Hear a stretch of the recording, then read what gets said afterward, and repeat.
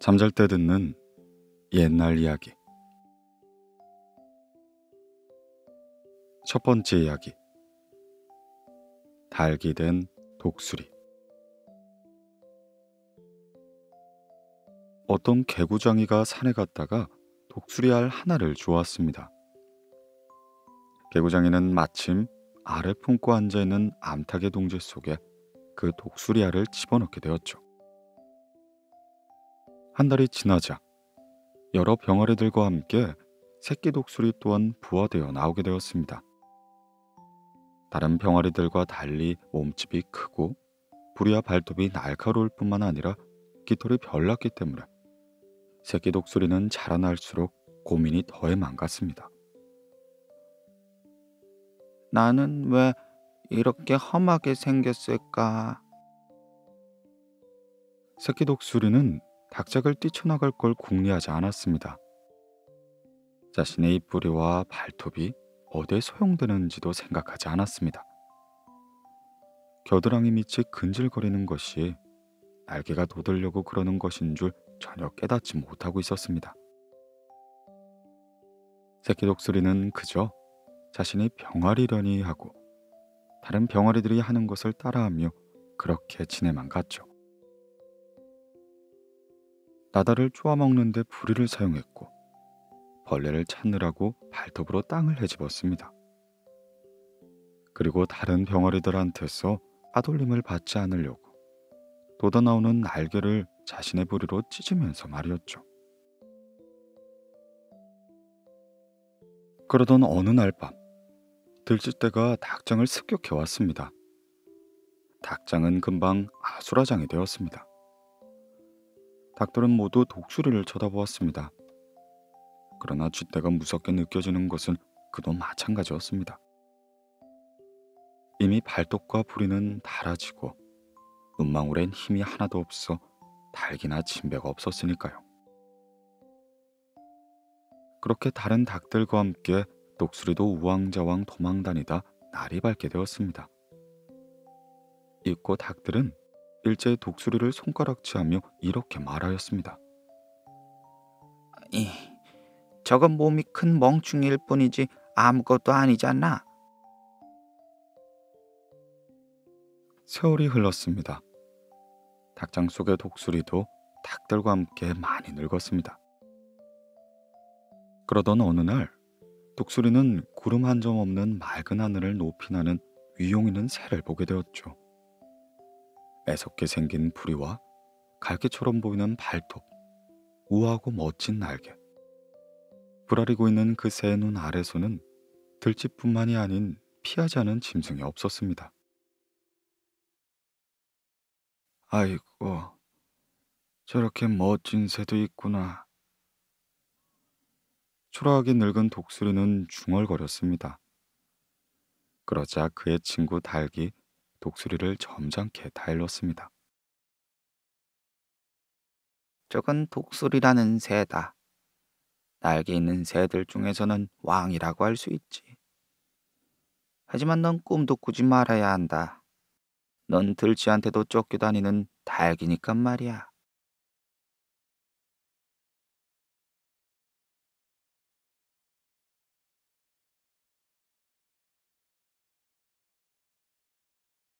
두 번째 이야기. 진정한 충원. 2조 숙종 때 일입니다. 당어간 벼슬에 있던 이관명이 어사의 직함을 갖고 영남지방 사찰을 나갔습니다. 이 관명에 들어오자 임금은 그를 불러 이렇게 물었습니다. 그래, 그대가 이번에 돌아온 영남은 어떻습니까? 관리들의 민폐가 없다고는 할 수 없겠지요. 마음이 굳은 이관명은 어떤 후궁의 소유로 되어 있는 섬에 대해 이실 짓고 말했습니다. 예, 황공하오나 한 가지만 아래옵나이다. 통영 관할 밑에 섬 하나가 어인 일인지 대궐 식구 가운데 한 분의 소유로 되어 있습니다. 고로 그 섬은 관리의 수탈이 어찌나 심한지 백성들의 궁핍을 자만 눈으로 볼 수 없는 지경이었습니다. 이에 임금은 벌컥 화를 냈습니다. 아니, 내가 그 조그만 섬 하나를 후궁에게 준 것이 그렇게도 불찰이란 말이오. 이감명은 그러나 태연자역하며 말했습니다. 그 일로 저를 그리 탓하신다면 저는 그만 물러나겠습니다. 바직하여 주시옵소서. 임금은 더욱 목청을 높였습니다. 그래, 그만둘 테면 그만두시오. 임금은 승지에게 당장 정교를 쓰라고 명하였습니다. 승지는 당황한 빛으로 붓을 들고 말았죠. 똑바로 쓰시오. 전 수의여사 이관명에게 부제학을 제수한다. 승진은 의회 본문에 올라면서 교지를 써내려 가기 시작했습니다. 임금의 명은 계속되어 갔습니다. 또 한 장을 쓰시오. 부제학 이관명에게 홍문제학을 제수한다. 홍문제학 이관명에게 호조 판서를 제수한다. 이리하여 감투가 달아날 줄 알았던 이관명은 도리어 3계급 특진이 되었습니다. 그리고 이윽고 임금은 이관명에게 이리 말하였죠. 경의 중간으로 내 잘못을 깨달았어. 법 앞에는 어느 누구도 평등하오. 하오니 앞으로도 그와 같은 신념이 변치 않길 바라오.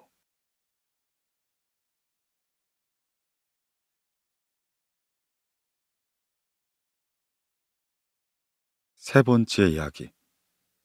세 가지 질문. 어떠한 왕이 있었습니다. 그는 가장 중요한 때가 언제인지, 그리고 가장 중요한 사람이 누구이며, 어떤 것이 가장 중요한지를 알고 싶어 했습니다. 하여 왕은 지혜가 많다고 소문난 도사를 찾아가 물어보기로 했습니다. 그 도사는 깊은 숲 속에서 자기의 거처를 한 번도 떠나지 않고 자기가 농사 지은 만큼만 먹고 사는 사람이었습니다. 왕은 도사의 암자로부터 멀리 떨어진 곳에 말을 내렸습니다. 그리고 신하들을 돌려보내고 혼자 걸어가기 시작했죠. 마침 도사는 텃밭에서 일을 하고 있었습니다. 왕은 이리 물었습니다. 도사님, 우리가 결코 후회하지 않게 꼭 지켜야 할 시간은 언제입니까? 그리고 어떤 사람을 멀리하고 어떤 사람을 가까이 해야 하며 어떤 일을 중요시해야 합니까? 그러나 도사는 묵묵부답이었습니다. 그저 땅 파는 일을 계속할 뿐 늙고 마른 도사가 일을 하는 것이 왕의 마음에 걸리기 시작했죠. 아유 참, 도사님은 너무 지쳤어. sab을 이리 주시오. 왕이 도사 대신 땅을 파는 동안 해가 지기 시작했습니다. 그렇게 일을 마치려고 할 때 뒷산으로부터 칼을 찬 한 사람이 달려나와 왕과 도사 앞에 쓰러지고 말았죠. 그 사람은 맹수한테서 습격을 당해 피를 흘리고 있었습니다. 왕과 도사는 황급히 부상자를 암자로 옮겨 치료하게 되었습니다. 이튿날 아침, 몸이 회복된 사람이 왕 앞에 무릎을 꿇고 말했습니다. 아이고 임금님, 저는 임금님의 정치에 원한을 품고서는 임금님을 죽이고자 뒤를 밟았던 자객이었습니다. 그런데 이렇게 극진한 간호를 받고 보니 저의 원한이 다 사라져 버렸습니다. 왕은 기쁜 마음으로 도사를 찾았습니다.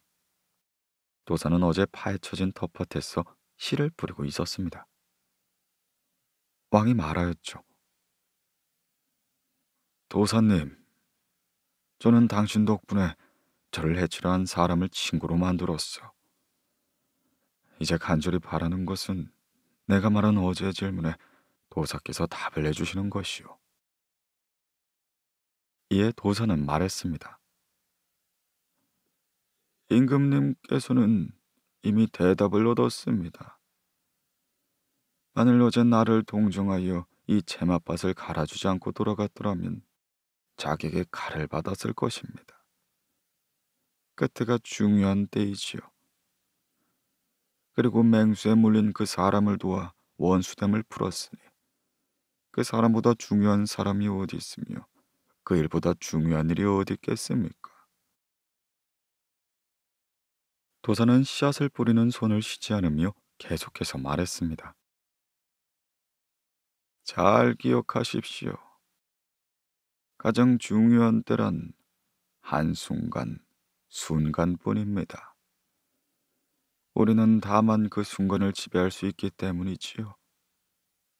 또 결코 없어서는 안 될 사람이란 그 순간에 만나는 사람이며 가장 중요한 일이란 그 순간에 만나는 그 사람을 도와주는 것입니다.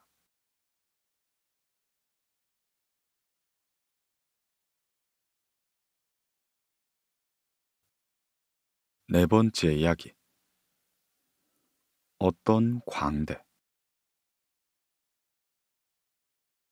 강화도에 살던 떡거머리 총각이 어느 날 임금 자리에 올랐습니다. 때때로 신선로 음식을 들고 밤마다 비단 친구 속에서 잠을 자더랬죠. 어린아이 다루듯 자리에 일어나면 예쁜 공녀들이 옆에서 부축을 했고 손에서 손을 건너오지 않는 물건이라곤 하나도 없었습니다. 알아서 해라 해도 황공하옵니다.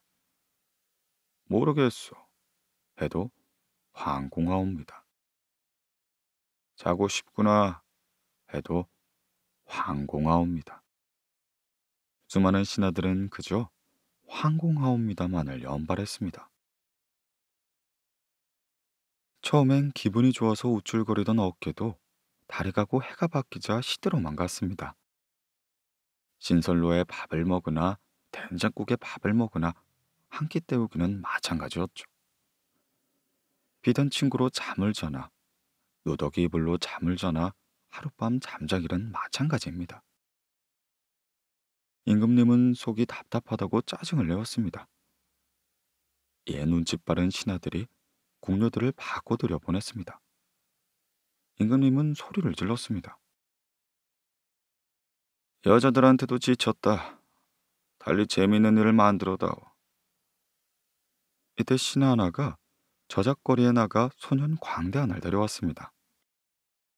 요즘 말로 하면 코미디언인 이 소년 광대는 대궐에서 쓰는 말하고는 전혀 반대의 말을 해서 임금님을 웃기기 시작했죠. 내시를 가리켜서 저건 고자다. 그러면 임금님은 으하하. 풍치가 좋은 대감을 가리켜서 저건 배불뚝이다. 마찬가지로 임금님은 으하하하. 임금님의 말을 척척 받는 대감을 가리켜서 저건 아청꾼이다. 역시 임금님은 으하하하. 이에 임금이 물었습니다. 아이고, 그래. 그럼 나는 누구냐? 소년광대는 거침없이 대답했습니다. 당신이야 뭐 임금 옷을 빌어 입은 허수아비가 아닌가. 순간 임금님의 표정은 돌변했습니다. 여보라, 저놈을 당장 끌어내어 목을 빼어라. 그러자 이번엔 소년광대가 웃음을 터뜨렸죠. 임금님의 우여움이 상도 끝까지 올랐습니다. 이놈이 아니 왜 웃는 것이냐?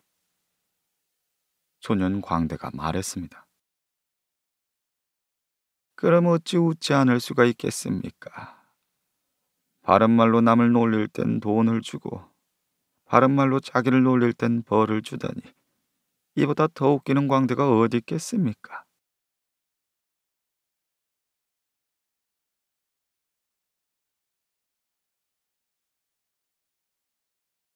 다섯 번째 이야기.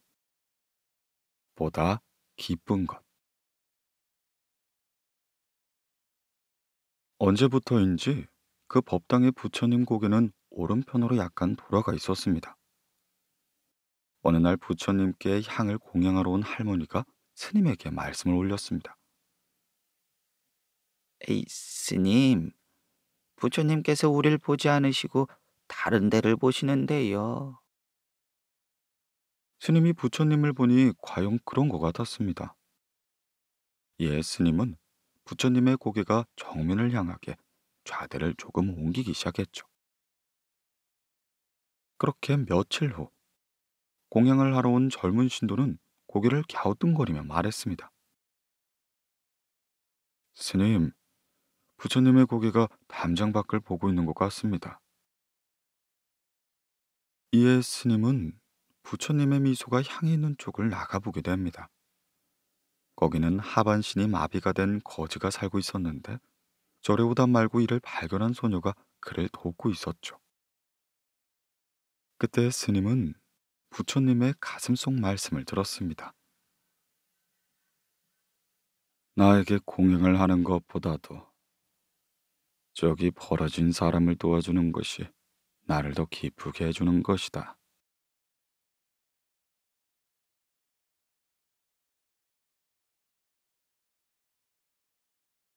여섯 번째 이야기.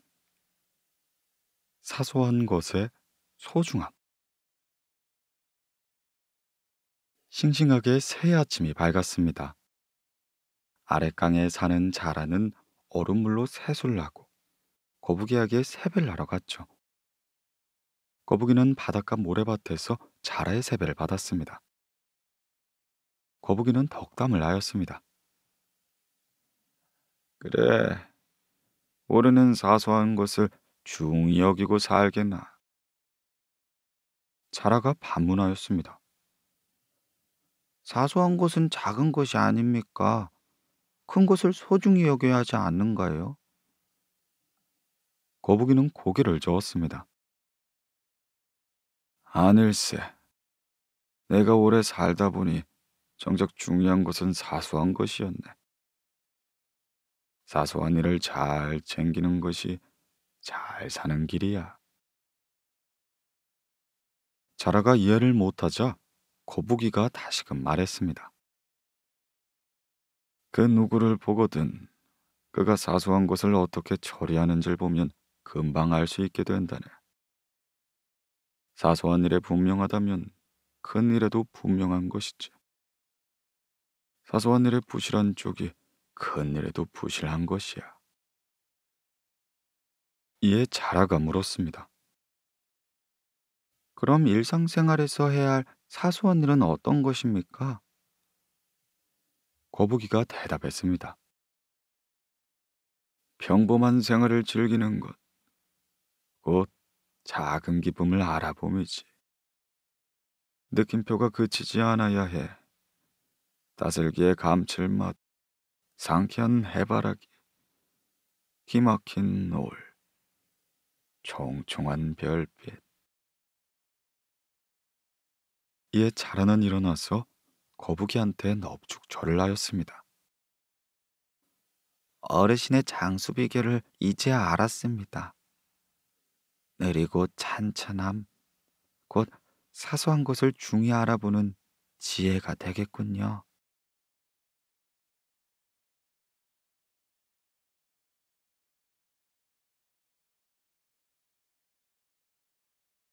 일곱 번째 이야기. 횡령한 빈산이 있었습니다. 온통 암석일 뿐 풀밭이라곤 옹달샘 부근의 손바닥만한 땅으로 마치 망망한 바다 한가운데 섬 같아 보였습니다. 그리고 이 빈산은 토끼 한 마리가 살고 있었죠. 옹달샘 부근의 풀밭이 유일한 먹이였으나 그것도 빈약하기만 하며 늘 배고픈 나날이었습니다. 그러나 이 볼품없는 풀밭마저도 지독한 가뭄에 옹달샘이 마르자 타 죽고야 말았습니다. 토끼는 새로운 털을 찾아 떠나야만 했죠. 횡령한 계곡을 지나고 고개를 넘었습니다. 빈산을 빠져나오는 데는 꼬박 사흘 낮과 사흘 밤이 걸렸습니다. 마침내 토끼는 푸른 산에 도착했습니다. 거기는 산여울이 흐르고 숲이 지른 곳이었죠. 어디고 푸른 풀밭천지였습니다. 토끼는 마침내 활기찬 삶을 살게 되었습니다. 후일 토끼는 이렇게 말했죠. 나는 처음에 그 가뭄을 얼마나 증오했는지 몰라. 하지만 지금 와서 생각해보니 그 가뭄처럼 고마운 것이 없더구나.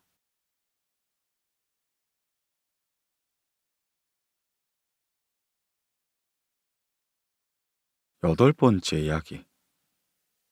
거룩한 성배. 중세기 이탈리아에 기사도 정신에 충렬한 한 성주가 있었습니다. 그는 살아생전 그 누구도 넘볼 수 없는 공을 세웠으면 하고 골똘히 생각하고 있었죠. 그러자 한 가지 일이 떠올랐습니다. 그것은 예수님과 제자들이 만찬을 나눌 때 사용한 금잔을 찾아내는 일이었습니다. 성주는 당장 많은 돈을 준비하고 말을 타고 나섰습니다. 그런데 그가 성문을 나서려 할 때 성문 앞에선 한 거지를 만나게 되었습니다.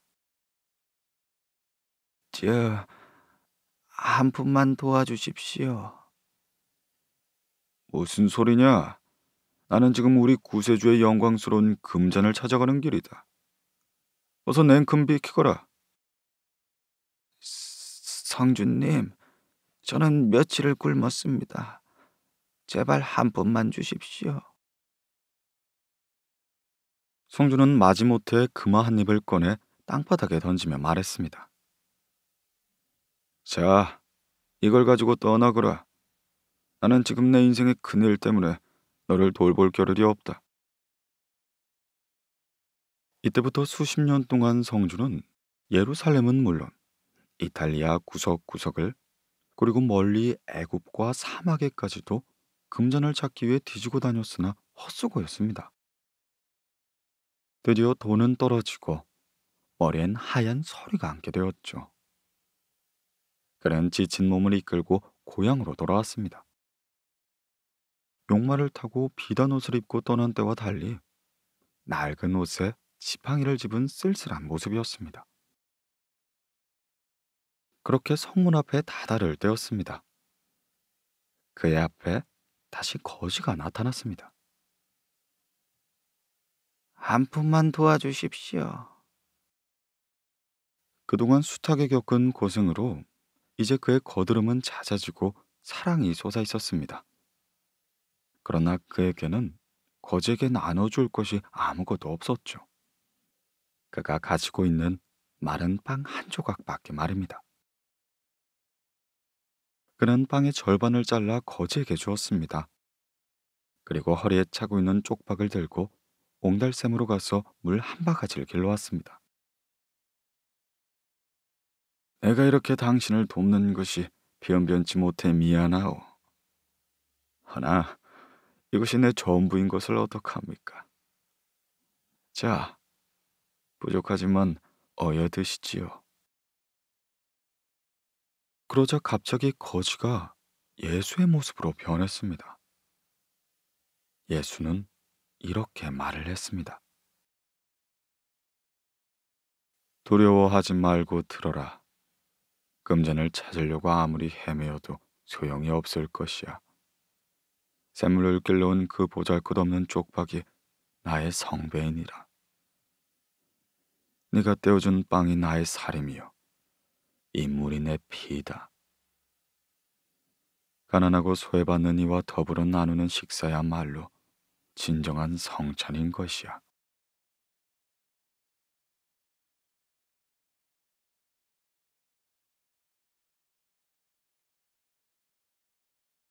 아홉 번째 이야기. 지옥에 간 심술쟁이. 남을 골타 먹는 것을 재미로 사는 심술쟁이가 있었습니다. 그 심술쟁이는 온갖 나쁜 짓만 골라서 했죠. 어느 날 심술쟁이는 모두 쓰는 우물에 오물을 퍼다 부었습니다. 더러워진 우물을 들여다보며 희죽희죽 웃다가 그만 우물에 빠져 죽고야 말았습니다. 잊고 심술쟁이는 염라대왕 앞에 서서 심판을 받게 되었습니다. 그래, 너는 세상에 있을 때 무슨 공덕을 쌓았느냐? 염라대왕이 물었습니다. 아, 저는 저는 세상에 살 때 착한 일만 해서 큰 공덕을 쌓았더랬지요. 심술쟁이는 오래전부터 준비해왔던 말을 잘 외웠습니다. 이에 염라대왕은 심술쟁이를 평생 동안 한 일을 영화 장면처럼 나타나는 엉겹대라는 거울 앞에 세웠습니다. 거울엔 이런 모습이 비쳤습니다. 서당에 가서 글 공부할 책들을 팔아먹고 서당 갈 시간에 제기차기 놀이를 하고 여인들의 긴 댕기물을 잡아당기고 아니 착한 일이라곤 한 가지도 한 것이 없구나. 너는 마땅히 지옥으로 가야겠어. 염라대왕은 심술쟁이를 지옥의 불 속으로 던졌습니다. 10년째 되는 날 염라대왕은 선녀에게 파한 뿌리를 던져주며 심술쟁이를 구해주라고 했습니다. 선녀가 팥뿌리에 실을 메고 지옥 속에 던지자 지옥에서 신음하던 심술쟁이는 팥뿌리에 매달리기 시작했죠. 하지만 옆에 있었던 다른 사람들까지 매달리자 심술쟁이는 매달리는 사람들을 발로 차서 떨어뜨리고 말았습니다. 결국 혼자 살기 위해 했던 심술쟁이의 행동으로 다시 지옥불로 떨어지고 말았습니다.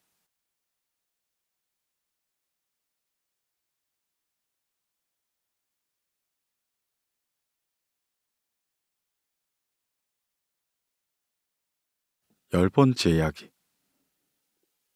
살아있는 구유. 어느 날 왕은 방을 써서 나라 곳곳에 붙였습니다. 섣달은 별이 내리는 달이다. 각자가 별을 받을 구유를 하나씩 지어와서 심사를 받도록 하여라. 살아있는 구유로 판정이 내려진 사람에게는 내 상을 주겠다. 사람들은 너도 나도 구유를 만드는데 정신이 없었습니다. 서로가 더 나은 구유를 만들기 위해 재료 경쟁이 치열했고 솜씨 싸움 또한 볼만하였습니다.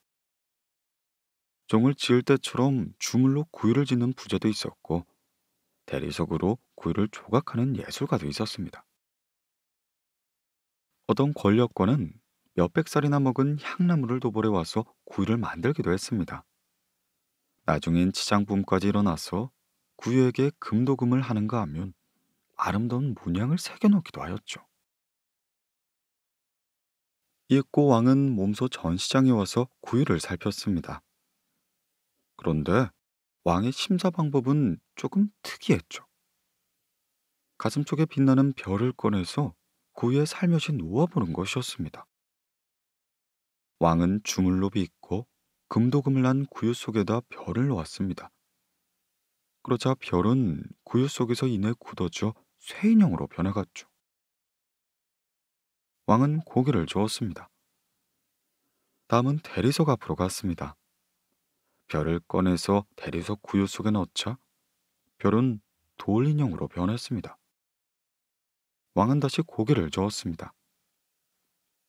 그때 향나무로 구유를 만든 권력가의 가슴은 부풀어 오르기 시작했습니다. 이제 자기의 구유에서 놀라운 역사가 일어날 것이라고 그는 생각했죠. 왕이 가까이 오자 그의 호흡은 심하게 거칠어졌습니다.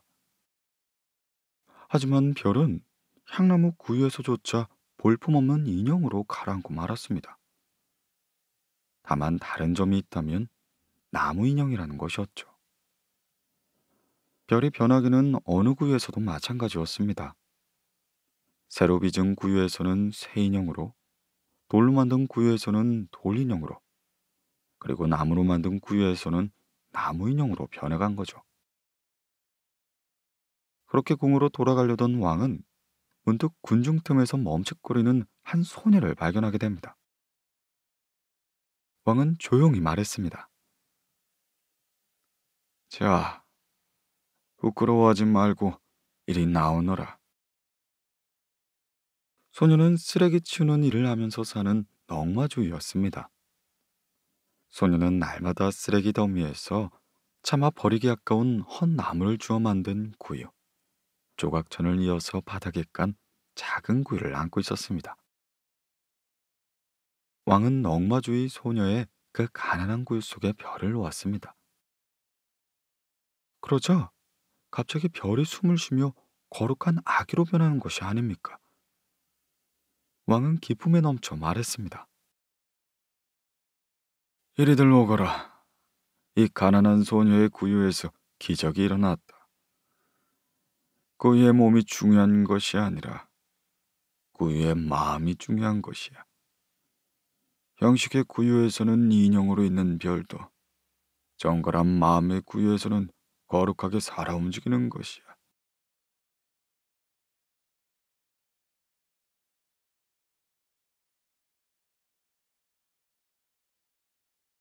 열한 번째 이야기 뱀의 본 옛날 한 아이가 있었습니다. 하루는 그 아이가 글방에 가다가 글방 가는 길 옆 바위에 조그마한 뱀 한 마리가 있는 걸 보게 되었습니다. 뱀은 배가 고팠는지 혀를 낙작낙작 하고 있었죠. 아이는 뱀이 불쌍해 보였습니다.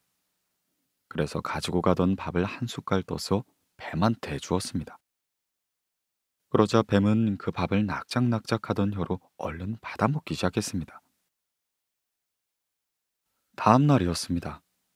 아이는 글방으로 가는 길에 또 한 번 뱀을 보게 됩니다. 아이는 또 밥을 한 숟갈 떠서 뱀한테 주었죠. 그리고 다음 날, 또 다음 날도 마찬가지였습니다.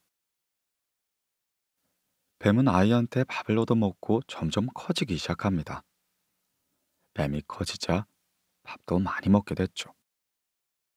처음엔 한 숟갈을 먹었지만 다음엔 두 숟갈, 세 숟갈, 그리고 아이의 밥을 절반씩 먹어대더니 나중엔 아이의 밥을 혼자 먹어도 모자랄 지경이 되고 말았습니다. 그러자 아이는 어머니한테 말했습니다. 어머니, 글방에 가난한 아이가 있어서 밥을 못 사가지고 옵니다. 그러니 그 아이와 함께 먹을 수 있게 밥을 좀 많이 담아주세요. 그때부터 어머니는 커다란 주발에 밥을 가득 담아 주었습니다. 아이는 이 밥의 절반을 뱀에게 주었습니다. 이렇게 몇 해가 지나자 조그마하던 뱀은 커다란 구렁이가 되었습니다. 아이는 이 구렁이와 의형제를 맺고 구렁이한텐 형님이라 불렀죠. 그러던 어느 날이었습니다. 구렁이가 아이한테 말했습니다. 너는 조금 있으면 이 정승댁에 장가를 가게 될 거야. 에이, 형님은 그게 무슨 말이야. 내가 어떻게 그런 큰 부잣집에 장가를 가. 더군다나 재상댁 따님은 아름답고 지혜롭기로 소문난 자자인데 그게 말이나 되는 소리야. 치, 두고 보라고. 난 볼 수가 있으니까. 넌 꼭이 정승댁에 장가를 가게 될 거야. 그런데 정말 얼마 지나지 않아서 이 정승댁에서 사람이 오더니 혼사를 물어보는 게 아니겠습니까? 아이는 정말로 이 정승댁에 장가를 가게 된 것입니다. 그렇게 잔칫날, 새서방이 된 아이는 말을 타고 색시집으로 가고 있었습니다. 그때 마침 구렁이가 오더니 내가 먼저 그 집에 가서 뗄나무 쌓이는 곳에 숨어 있을 테니 떡이랑 국좀 가져다 줘. 새서방은 혼례를 치르고는 구렁이한테도 떡을 한강줄이 담아다 주었죠. 그렇게 밤이 깊고 새서방과 색시는 불을 끄고 잠이 들고 말았습니다. 그런데 색시를 짝사랑하던 둘 중 하나가 색시가 혼례를 치른다는 소문을 듣고 밤에 담장을 넘어 들어와 있는 것이 아닙니까? 그는 집 뒤에서 자신의 칼을 숫돌에 슬렁슬렁 갈고 있었습니다. 새서방을 죽이고 색시를 뺏어갈 계기였죠. 그리고 구렁이가 이걸 보고 나와서는 이 돌중의 몸을 칭칭 감아 죽여버리고 맙니다. 구렁이가 세서방의 생명의 은인이 된 것이죠. 세서방은 혼례 뒤에도 계속 글방에 다니며 공부를 했습니다. 그러던 어느 날 구렁이가 와서는 이번에 과거를 보면 꼭 급제할 테니 꼭 과거를 봐야 한다. 라고 말하는 것입니다. 세서방은 그 말을 듣고 과거를 봤더니 정말 급제를 해서 큰 벼슬을 안게 되었습니다. 그리고 다시금 세월이 흘렀습니다. 그 사이 새로 왕이 오른 임금은 백성을 돌보지 않고 간신들만을 앞세우고 방탕하게 지내고 있었죠. 왕이 그러니 다른 지방의 관리들도 자기 배를 불리기만 바빴습니다. 온 마을의 백성들이 왕을 원망하는 소리가 끊이지 않았습니다. 그러던 어느 날 구렁이가 세서방을 찾아왔습니다. 나는 이제 이 나라에서 제일 높은 곳에 올라갔어. 거기에 지나가는 사람을 잡아먹을 것이다. 조금 있으면 조선 전체가 난리가 나서 나를 죽이겠다고 야단이 날 것이야. 그러면 나라에서 나를 잡아 죽일 사람을 뽑겠다고 할 것이지. 그때 네가 얼른 나서서 구렁이를 잡아 죽이겠으니 사랑 백명과 달구지 백틀, 큰 검 한 조를 달라고 하거라. 그리고 내가 있는 고개로 와서는 내 몸뚱이를 백토막으로 끊어 왕한테 바치는 거야. 아니 형님, 그게 무슨 말씀입니까? 형님이 아니면 저는 벌써 죽었을 것인데 형님 덕분에 살아서 이렇게 살고 있는데 저보고 형님을 죽이라뇨. 저는 못합니다. 제가 어떻게 형님을 죽이겠습니까? 그러자 구렁이는 네가 날 안 죽이면 내가 너를 죽이겠다고 위협을 하였습니다.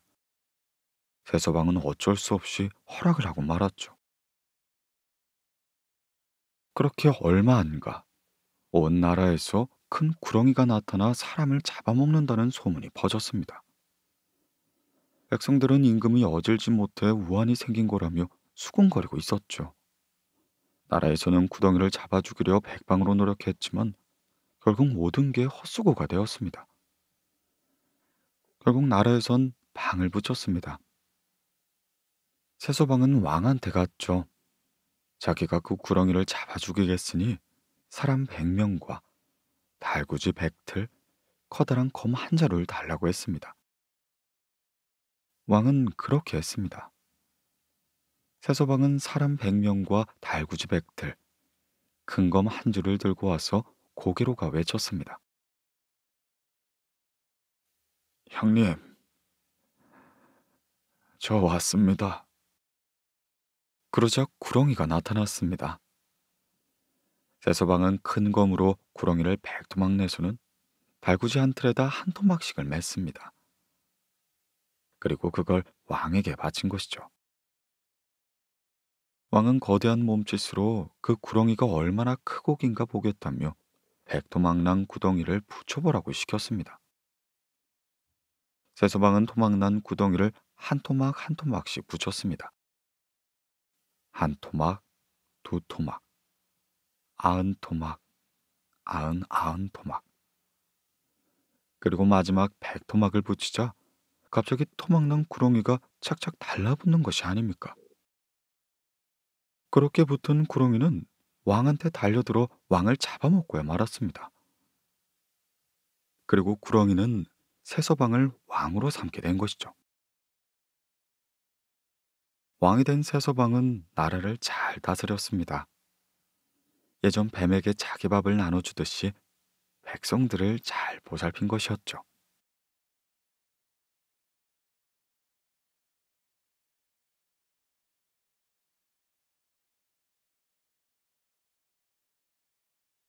열두 번째 이야기. 두 번째 가죽.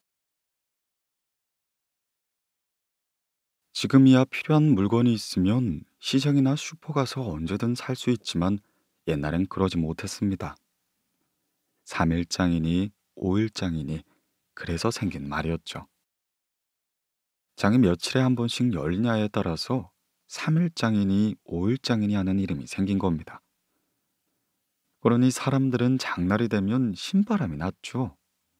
장은 물건을 사고 파는 곳이기도 했지만 오랜만에 사람들이 어울릴 수 있는 곳이기도 했거든요. 그래서 장이 서면 그곳은 마치 잔치집처럼 왁자지껄했고 또 재밌는 일 또한 많이 일어났습니다. 옛날 어느 마을에 사는 한 사람이 있었습니다. 하루는 그 사람이 오랜만에 장터에 갔습니다. 오랜만에 가는 장이어서 그런지 갈 때부터 기분이 좋았습니다. 장에서 필요한 물건도 사고 사람들도 만나고 하다 보니 기분은 점점 좋아졌죠. 그래서 술 한 잔을 한다는 게 그만 취할 정도로 먹게 되었습니다. 그렇게 집으로 돌아오는 길에 어둑어둑한 고기를 넘다 보니 그만 졸음이 쏟아져 그대로 잠들어 버린 게 아닙니까? 한참을 자다 보니 무언가가 이상했습니다. 얼굴이 싸해지고 축축한 기운이 도는 겁니다. 잠결에 뭔가 싶어 눈을 가만 떠보니 이게 웬일입니까? 커다란 호랑이 한 마리가 꼬리에다 물을 묻혀 얼굴에 뿌리고 있는 게 아니겠습니까? 그 사람은 너무 무서워 몸이 부들부들 떨렸습니다. 하지만 호랑이가 자기가 깬 걸 알면 바로 잡아먹을 테니 계속 자는 척을 하고 있었죠. 그러다 그는 결심을 했습니다. 그래, 이왕 죽을 바엔 한번 싸워보기라도 해야겠다. 어차피 죽는 건 마찬가지니까 말이야. 그 사람은 물을 뿌리고 있는 꼬리를 얼른 손으로 낚아챘습니다. 그리고 호랑이의 잔등에 올라탔죠. 이번엔 호랑이가 깜짝 놀랐습니다. 잔등에 올라탄 게 뭔지 몰라 이리 뛰고 저리 뛰고 난리가 나더랬죠. 하지만 사람이 죽을 각오로 올라탔는데 쉽게 떨어질 리가 없습니다. 범은 밤새 뛰고 또 뛰기 시작했습니다. 그래도 아무 소용이 없자 범은 자기 굴로 도망가려고 했습니다. 이번엔 또 이 사람이 놀랐죠. 지금까지는 어떻게 버텨보았지만 범의 굴로 끌려갔다가는 진짜 죽겠구나 싶었습니다. 그래서 범이 굴로 들어가려고 하자 이 사람은 양발로 굴의 양쪽 언덕을 딛고 손으론 범의 양쪽 귀를 붙잡고 힘껏 당기기 시작했습니다. 그렇게 갑자기 쌩 하는 소리가 나더니 뭔가 굴 안으로 들어가는 것 같았습니다. 동시에 이 사람은 뒤로 나자빠지고 말이죠. 얼마나 시간이 흘렀을까? 이 사람은 겨우 정신이 나서 눈을 뜨고 일어서려고 했습니다. 겨우겨우 몸을 일으키는데 손에 뭔가 끌려와 보니 범의 가죽이 아니겠습니까? 범이 너무 급한 나머지 가죽은 벗어놓고 알몸으로 도망을 친 것입니다. 어쨌든 이 사람은 범의 통가죽을 가지고 집으로 내려왔습니다. 물론 비싼 값에 통가죽을 팔아 부자가 되고 말이죠. 이때 같은 마을에 사는 욕심쟁이는 배가 아파왔습니다. 자기가 더 부자가 되고 싶어서 그 사람한테 와서 어떻게 부자가 되냐고 물었죠. 그는 이런저런 사실을 다 말해주었습니다. 그렇게 욕심쟁이는 장날에 얼른 술을 잔뜩 먹고 그 곡에 와서 누워 자고 말았습니다. 그런데 범이 오지 않았죠. 다음날 그리고 그 다음날이 돼도 오지 않았습니다. 하지만 이쯤에서 그만두면 욕심쟁이가 아니죠. 그는 비가 오나 눈이 오나 범이 올 때까지 기다리고 있었습니다. 그러던 어느 날 드디어 범이 왔습니다. 욕심쟁이는 일러준 대로 얼른 범의 꼬리를 붙잡고 잔등에 올라탔습니다. 범은 놀라서 마구 뛰기 시작했죠. 이리 뛰고 저리 뛰고 밤새도록 뛰어다니다가 저녁녘이 되니까 자기 굴로 들어가려고 했습니다. 그래서 욕심쟁이는 들은 대로 굴 양쪽 언덕을 딛고 버티기 시작했습니다. 아니나 다를까 한창 실갱을 하다 보니 뭔가 쌩 하고 뒤로 나잡아치고 말았습니다. 욕심쟁이가 정신을 차렸을 때는 손에 범가죽이 들려 있었죠. 신난 욕심쟁이는 범가죽을 들고 장에 가기 시작했습니다. 그런데 이 사람 저 사람에게 가져가 봐도 사지 않겠다고 하는 게 아닙니까? 내가 비싼 값을 달라고 할까봐 이놈들이 짜고 이러는구나. 그렇게 욕심쟁이는 먼저 번에 통가죽을 샀던 사람에게 가서 흥정을 하기 시작했습니다. 어, 범가죽이요? 네, 그럼 한 단량을 주겠습니다. 아니, 범의 통가죽인데 어떻게 단량밖에 안 된다는 말이요? 에, 통가죽은 통가죽인데 두 번째 가죽이 아니겠습니까? 그런 건 값이 별로 안 나갔지요. 욕심쟁이가 벗긴 가죽은 바로 3년 전 가죽이 몽땅 벗겨져 알몸으로 도망갔던 범의 가죽이었던 겁니다. 그동안 다시 털이 돋아서 생긴 두 번째 가죽 말이죠. 결국 남의 것을 욕심냈던 욕심쟁이의 보람은 한순간에 사라져버리고 말았습니다.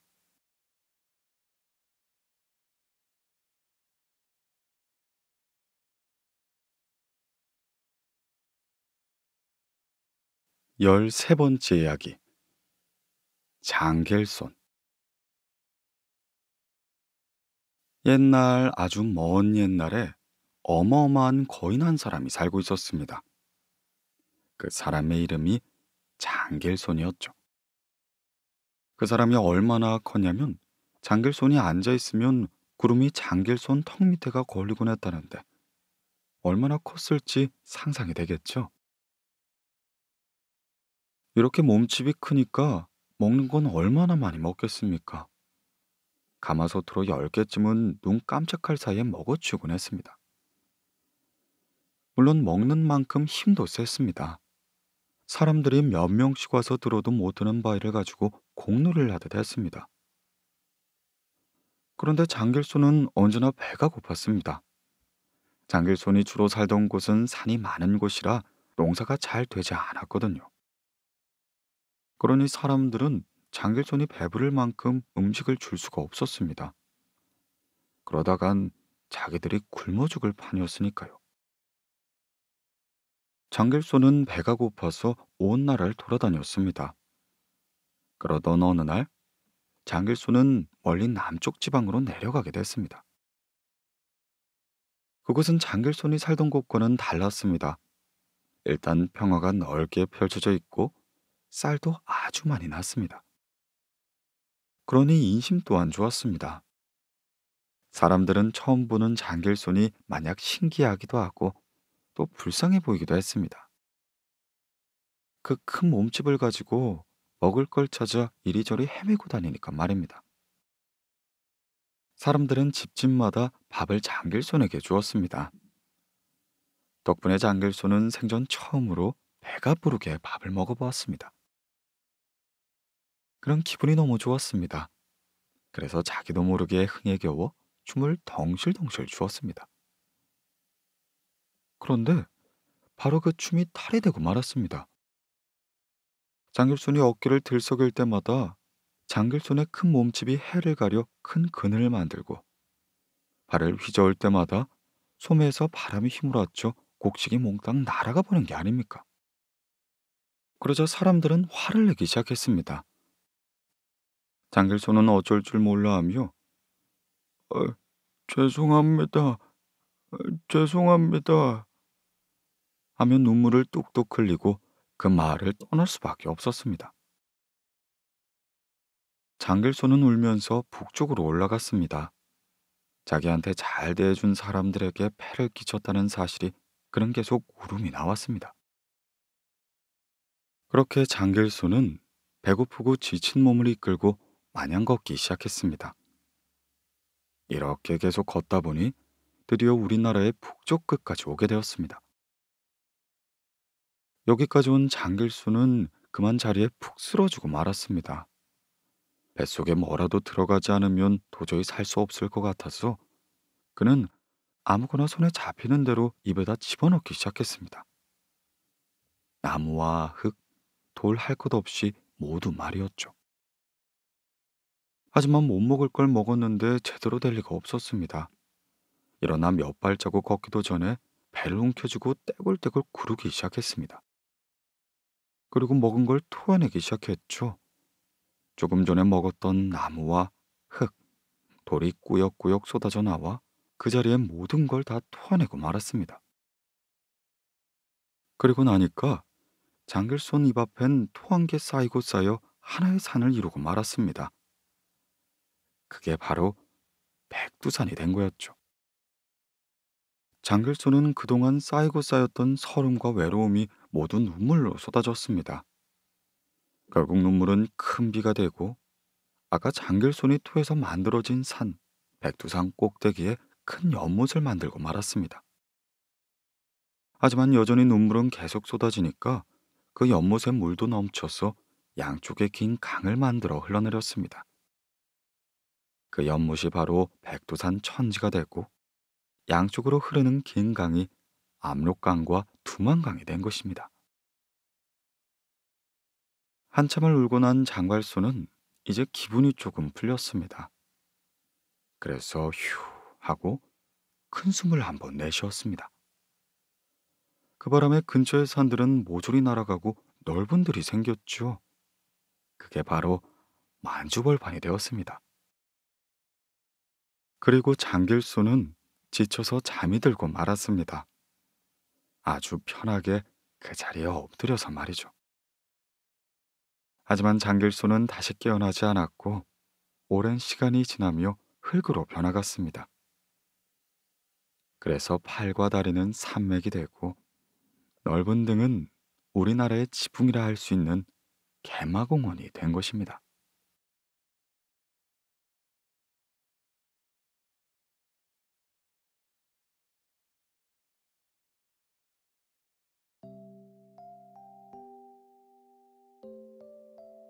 잠잘 때 듣는 옛날 이야기.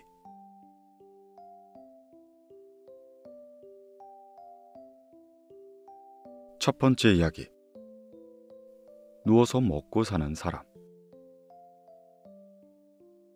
옛날 어떤 마을에 지독한 게으름뱅이가 살았습니다. 그는 너무너무 게을러서 밥을 먹을 때에도 아내가 떠먹어줘야 할 정도였죠. 이렇게 아무 일도 하지 않고 방에만 누워 있으니 집안은 점점 더 가난해져만 갔습니다. 그러던 어느 날 하루는 이 게으름뱅이가 곰곰이 생각하기를 아이 참 누워 있기만 해도 잘 먹고 잘 사는 방법이 없을까? 하고는 점쟁이를 찾아가게 되었습니다. 점쟁이는 게으름뱅이에게 말했죠. 어허허, 당신은 정말 복을 타고났소이다. 가만히 누워 있기만 해도 저절로 먹고 살 수 있겠구려. 말을 들은 게으름뱅이는 신나며 덩실덩실 춤을 추며 집으로 왔습니다.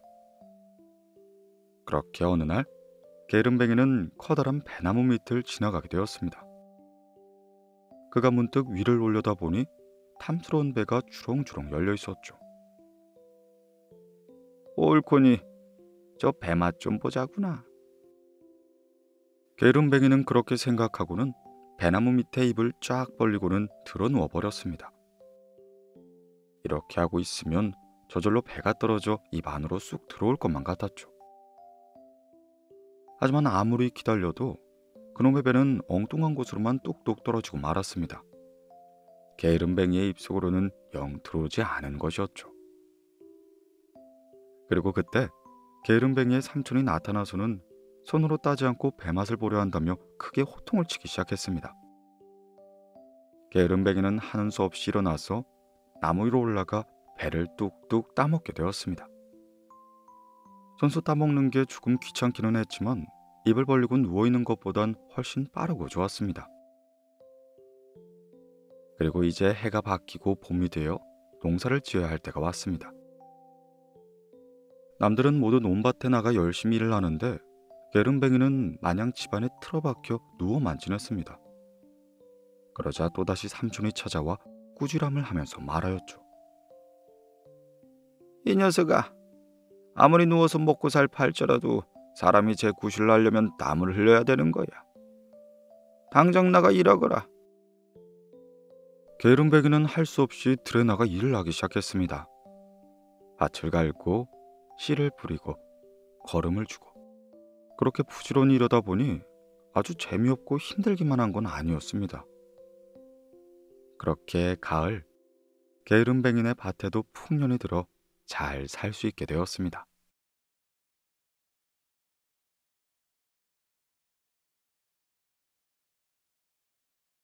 두 번째 이야기 맹물잔치 옛날 어떤 마을에 가난한 훈장님이 있었습니다.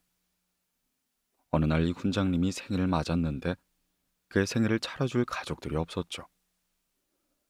그래서 서당의 아이들은 훈장님을 위해 술잔치를 마련하기로 했습니다.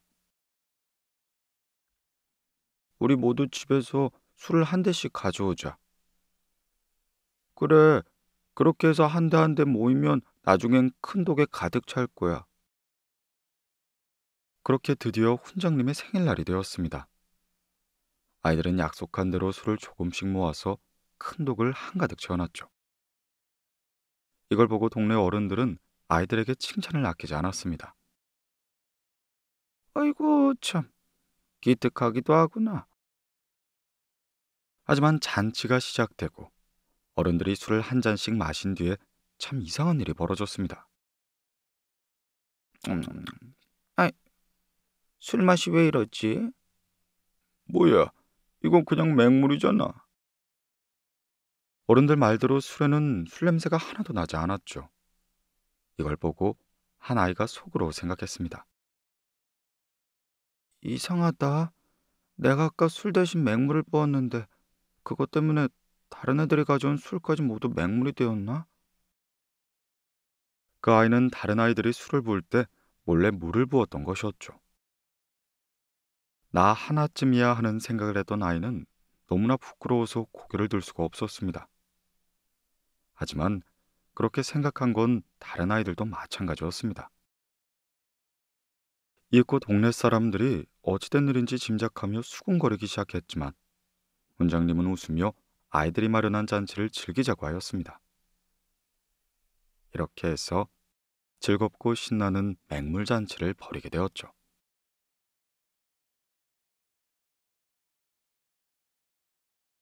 세 번째 이야기 하늘나라 박구경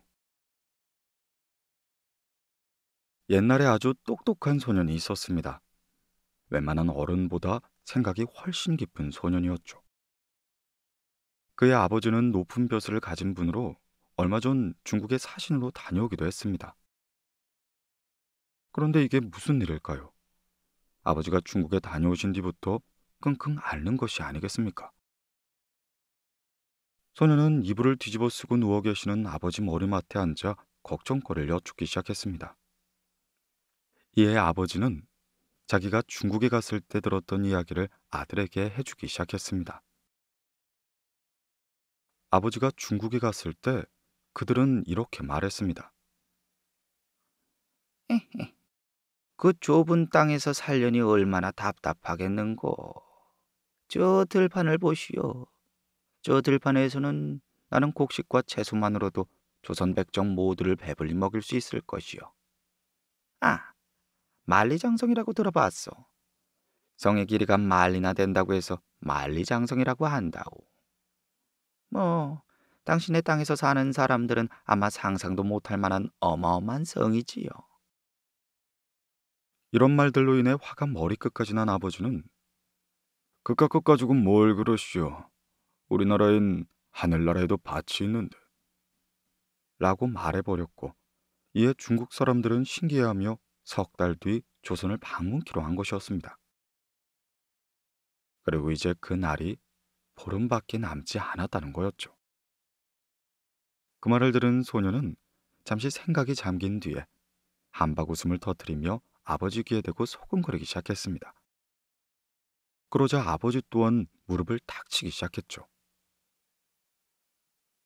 드디어 중국 사람들이 오는 날이 되었습니다. 아버지는 이른 아침부터 환갑이 넘는 노인들을 성문 앞으로 불러 모아 잔치를 벌이기 시작했습니다. 노인들은 맛있는 음식과 시원한 술을 먹으며 즐겁게 놀기 시작하였죠. 절로 노랫소리가 흥겨워지고 어느새 춤반 또한 벌어지기 시작했습니다. 그리고 그동안 소녀는 그 잔치판 옆으로 동네 조물애기들을 불러 모으기 시작했습니다. 얘들아, 여기서 큰 소리로 울도록 해. 그러면 이따가 엿을 한 알음씩 줄게. 알았지? 소년의 말에 아이들은 빽빽 소리를 지르며 울기 시작했습니다. 그런 다음 아버지와 소녀는 중국 사람들을 맞아들이기 시작했습니다. 성문 앞을 지나던 중국 사람들은 흥겹게 놀고 있는 노인들과 그 옆에서 울고 있는 아이들을 보며 궁금한 듯 물었습니다. 그러자 아버지가 노인들을 가리켰죠. 저 노인들은 하늘나라 밭으로 일을 하러 갔다가 사흘 전에 돌아온 사람들이요. 그 하늘나라 밭이 너무 멀어서 가는데 30년, 오는데 30년이 걸리지요. 60년 만에 고향에 들어왔으니 얼마나 기쁘겠어. 그래서 저렇게 잔치를 벌이고 있는 것이요. 음, 그리고 저 아이들은 이제 곧 하늘나라 밭을 매러 가는 길이라고. 이제 가면 60년 뒤에나 다시 올 수 있는데 어찌 서럽지 않겠소. 이에 중국 사람들이 머뭇거리자 아버지는 일부러 사람들의 팔을 잡아 끌며 이렇게 말했습니다. 아무튼 간에 우리도 한 30년이 걸릴 테니 어서 서두르는 게 좋을 것이요. 그러자 중국 사람들은 저마다 꽁문을 빼며 허둥지둥 자신의 나라로 돌아갔죠.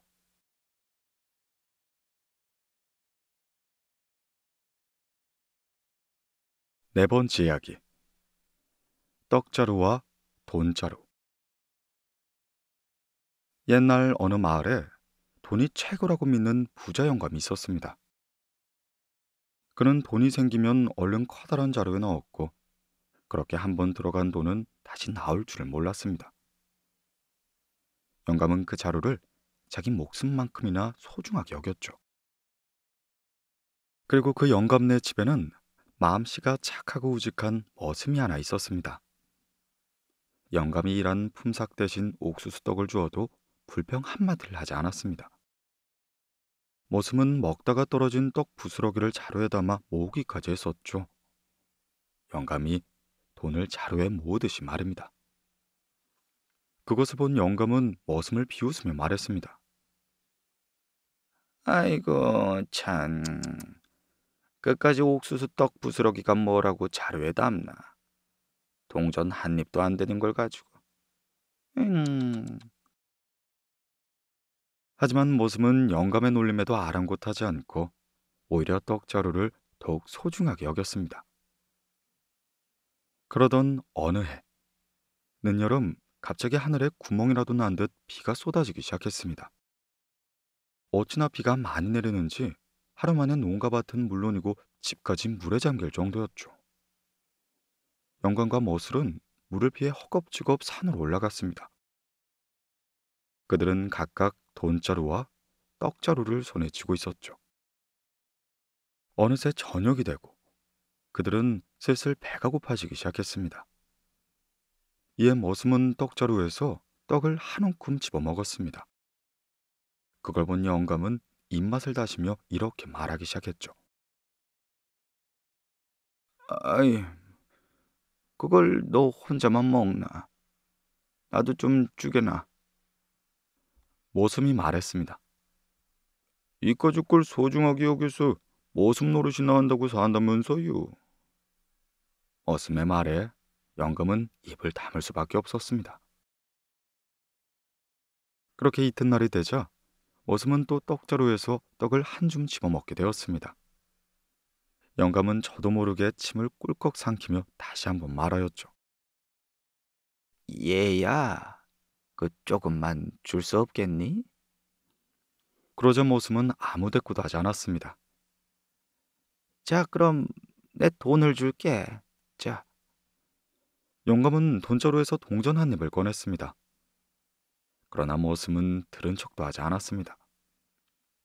영감이 동전을 하나 더 꺼내도 꿈쩍하지 않았습니다. 한참 동안 머슴을 노려보던 영감은 단단히 마음을 먹은 듯 돈자루를 벌렸습니다. 자, 얘다. 다섯 잎이다, 다섯 잎. 이 정도면 그 떡 한 시로 값이야. 그럼에도 머슴은 코웃음만 칠 뿐이었죠. 그렇게 그날 밤 영감은 배가 너무 고파서 잠을 이룰 수가 없었습니다. 밤새 뒤척거리던 영감은 새벽녘에야 겨우 눈을 붙일 수가 있었죠. 그렇게 시간이 얼마나 지났을까요? 언제 일어났는지 머슴은 냠냠거리며 떡 부스러기를 맛있게 먹고 있었습니다. 그 소리에 영감마저 눈을 번쩍 뜰 수가 있었죠. 더 이상 영감은 배고픔을 참을 수가 없었습니다. 자, 얘다. 백냥이다, 백냥. 이 정도면 논도 살 수 있어. 그러니 떡 좀 다오. 어? 영감은 머슴에게 돈을 던지며 떡자루를 빼앗으려고 했습니다. 하지만 머슴은 돈에 눈길 한 번을 주지 않았습니다. 이제 천냥을 내밀었습니다. 그럼에도 머슴은 대꾸도 없이 잠자코 떡만 먹기 일쑤였죠. 영감은 도저히 참을 수가 없어서 돈자루를 통째로 머슴에게 던졌습니다. 그제야 머슴은 씩 웃으며 떡자루를 벌려 영감에게 내밀었습니다. 영감은 허겁지겁 떡 부스러기를 먹기 시작했습니다. 그 모습을 보며 머슴은 속으로 말하였죠. 에휴, 굶어 죽은 귀신이 따로 없구만. 떡 부스러기가 동전 한 입보다 못하다고. 이제 떡 부스러기가 얼마나 귀한 것인지 아시겠죠, 영감 나으리?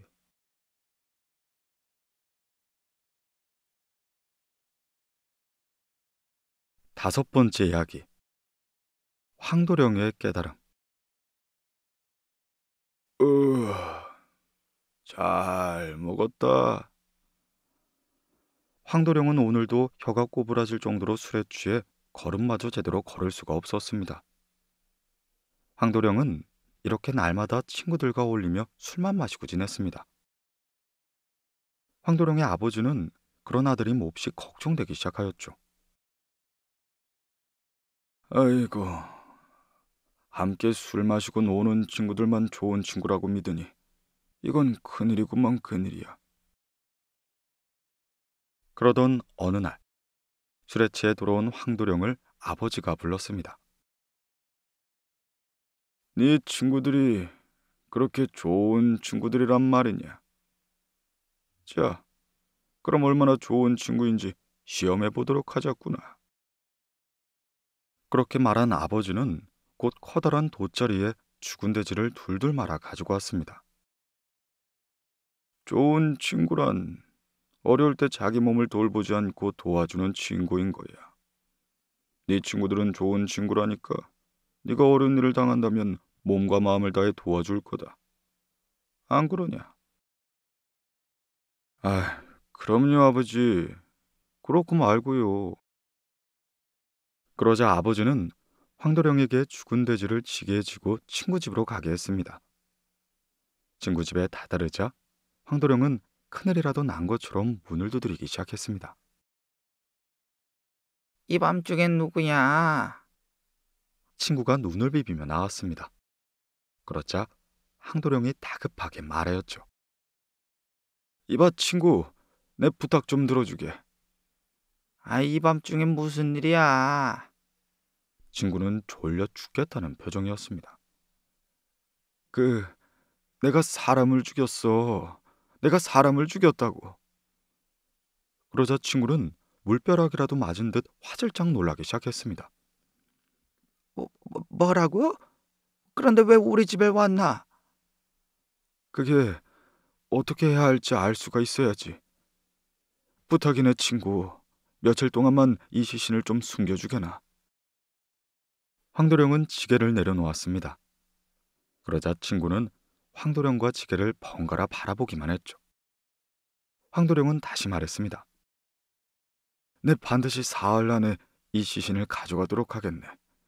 그러니 좀 맡아줄 수 없겠나? 그러나 친구는 쌀쌀맞게 말했습니다. 미안하네. 우리 집엔 남는 방이 없네. 그렇게 말한 친구는 문을 탕 닫고 들어가 버렸습니다. 황도령은 너무 기가 막혔습니다. 친구가 이렇게 나오리라고는 꿈에도 상상하지 못했거든요. 황도령은 아버지 보기가 창피하여 얼굴을 들 수가 없었습니다. 그래서 다른 친구를 찾아가 보기로 했죠. 황도령이 걸음을 옮기자 아버지는 말없이 황도령을 따라갔습니다. 그렇게 두 번째 친구 집에 대문을 두드리며 말하기 시작했습니다. 아니 어떤 녀석이야. 이 밤중에 문을 두드리고 이씨. 두 번째 친구가 문을 열고 나오자 황도령이 사정을 이야기했습니다. 그러자 두 번째 친구의 얼굴이 새하얗게 변하며 말하였죠. 뭐라고? 그걸 나보고 맡으라고? 아니 내가 왜 그런 일에 휘말리나? 황도령은 망치로 머리를 얻어맞은 것만 같았습니다. 아, 잠시만요, 아버지. 한 친구가 더 있어요. 그 친구라면 반드시 제 부탁을 들어줄 거예요. 황도령은 세 번째 친구의 집으로 갔습니다. 그러나 세 번째 친구는 문도 열지 않고 소리치며 말했습니다. 아유 됐네. 너무 취해서 더 이상 술을 못 먹겠네. 내일 마시세 내일. 황도령의 어깨가 축 늘어졌습니다. 눈물마저 핑 돌기 시작했죠. 그때 아버지가 나직하게 말했습니다. 그래. 그럼 이번엔 내 친구의 집으로 가보자꾸나. 황도령은 말없이 아버지의 뒤를 따라갔습니다. 여보게, 날새, 문 좀 열어주게. 말이 떨어지기 무섭게 대문이 열렸습니다. 아버지의 친구는 아버지의 목소리를 듣고 맨발로 달려나온 것이었습니다. 아버지는 친구에게 황도령과 똑같은 부탁을 했습니다. 그러자 아버지의 친구는 선뜻 시신을 막겠다고 하였죠. 그리고는 아버지의 두 손을 꼭 잡으며 말하였습니다. 내 자네를 알지 않은가? 분명 실수였을 거야, 그치? 자, 어서 함께 이 일을 어떻게 처리해야 할지 생각해 보세. 그것을 본 황도령은 그만 울음을 터뜨리고 말았습니다. 아버지, 제가 잘못했어요. 이제부턴 올기만 하고 술만 마시는 친구들과는 절대 어울리지 않을 거예요. 아니, 이게 무슨 소리인가? 아버지의 친구의 눈은 동그래졌습니다. 그러자 아버지는 친구에게 모든 것을 털어놓았죠. 이야기를 들은 아버지의 친구는 껄껄 웃으며 말했습니다. 자네 아들이 큰 것을 깨달았구려.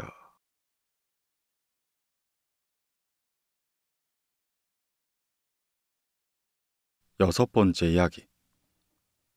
꽃이 된 어머니. 어느 마을에 딸을 셋둔 어머니가 있었습니다. 남편이 오래전에 세상을 떠나고 어머니는 혼자서 딸들을 길러내었죠. 어머니는 아버지 없이 자라는 딸들이 가엾기만 했습니다. 그래서 아버지 목까지 정성을 다해 딸들을 보살피기 시작했습니다. 그리고 어느덧 딸들이 모두 시집갈 나이가 되었습니다. 아이고, 벌써 우리 애들이 이렇게 컸구나. 어머니는 다 자란 딸들이 자랑스럽기만 했습니다. 하지만 서운한 마음이 없지 않았습니다. 모두 시집을 가버리면 어머니는 혼자 남을 테니까 말이죠. 그래도 어머니는 서운한 마음을 누르고는 딸들을 결혼시키고 말았습니다. 딸들을 한 명씩 시집 보낼 때마다 땅을 팔고 소도 팔고 말이죠. 그렇게 모두 시집을 보내자 어머니에게는 허름한 오두막 한 채만이 남았습니다. 하지만 어머니는 딸들 걱정만 했습니다. 하느님, 우리 딸들이 잘 살 수 있도록 꼭 좀 도와주세요. 그렇게 많은 세월이 흘렀습니다. 어머니의 머리는 서리가 내린 것처럼 새하얗게 새었죠. 이빨도 다 빠져버렸습니다. 이제 어머니는 너무 늙어 몸도 제대로 가눌 수가 없었습니다. 어머니는 너무나 서글펐습니다. 곁에는 아무도 없다는 생각에 눈물이 절로 나왔습니다. 그렇게 외롭게 지내던 어느 날 어머니는 문득 오래전에 시집간 큰딸의 얼굴이 떠올랐습니다. 그래, 우리 큰애는 날 반갑게 맞을 거야. 어머니는 큰딸의 집으로 향했습니다. 어머니 웬일이세요? 큰딸은 어머니를 반갑게 맞았습니다. 오랜만에 만난 어머니를 위해 닭을 잡아 상을 차리고 말이죠. 역시 내 딸이야. 왜 진작 딸과 함께 살 생각을 못했을까? 그렇게 어머니는 큰딸의 집에서 마음 편히 지냈습니다. 그랬던 어느 날 아침상을 차려온 큰딸이 이렇게 말하는 게 아니겠습니까? 어머니, 언제까지 계실 생각이세요? 숟가락을 들던 어머니는 어리둥절하며 큰딸을 쳐다보았습니다. 큰딸은 아랑곳하지 않고 이렇게 말하였죠. 이제 그만 집으로 돌아가셔야 하지 않을까요? 어머니는 이렇게 생각했습니다. 아이고, 그래. 이제는 내가 귀찮아진 게로구나. 어머니는 어찌해야 좋을지 몰랐습니다. 다시 집으로 돌아갈 생각을 하니 눈앞이 캄캄해져만 갔습니다. 밥도 짓지 못할 만큼 늙은 몸으로 어떻게 혼자 살아갈 수가 있겠습니까? 그렇게 어머니는 국리 끝에 둘째 딸에게 가기로 마음을 먹었습니다. 둘째야, 둘째야. 아니, 어머님 웬일이세요? 둘째도 어머니를 반갑게 맞았습니다. 하지만 하루가 지나고 이틀이 지날수록 둘째 태도는 처음과 달랐습니다. 어머니, 왜 이렇게 밥을 흘리세요? 아, 가만히 앉아있지 말고 마당이라도 좀 쓸어요. 둘째는 이렇게 어머니를 구박하기 시작했습니다. 아주 추운 겨울인데도 어머니 방에 불도 피우지 않았습니다. 어머니는 모두가 잠든 밤에 소리 죽여 울고야 말았죠. 그러던 어느 날 밖은 금세라도 눈보라가 몰아칠 것 같았습니다. 어머니, 이제 그만 돌아가세요. 아이들 키우는 것도 힘든데 어떻게 어머니 시중까지 들어요. 제 생각도 해주셔야죠. 둘째는 이렇게 말하며 어머니를 쫓아냈습니다. 밖은 눈보라가 매섭게 몰아치기 시작했습니다. 지팡이를 집은 손은 벌써 꽁꽁 얼어붙고야 말았죠. 어머니는 금방이라도 쓰러질 것 같았습니다. 아이고, 이제 어디로 가야 한단 말인가? 어머니의 머릿속에는 셋째가 떠올랐습니다. 하지만 어머니는 선뜻 셋째 집으로 갈 수가 없었습니다. 아니야.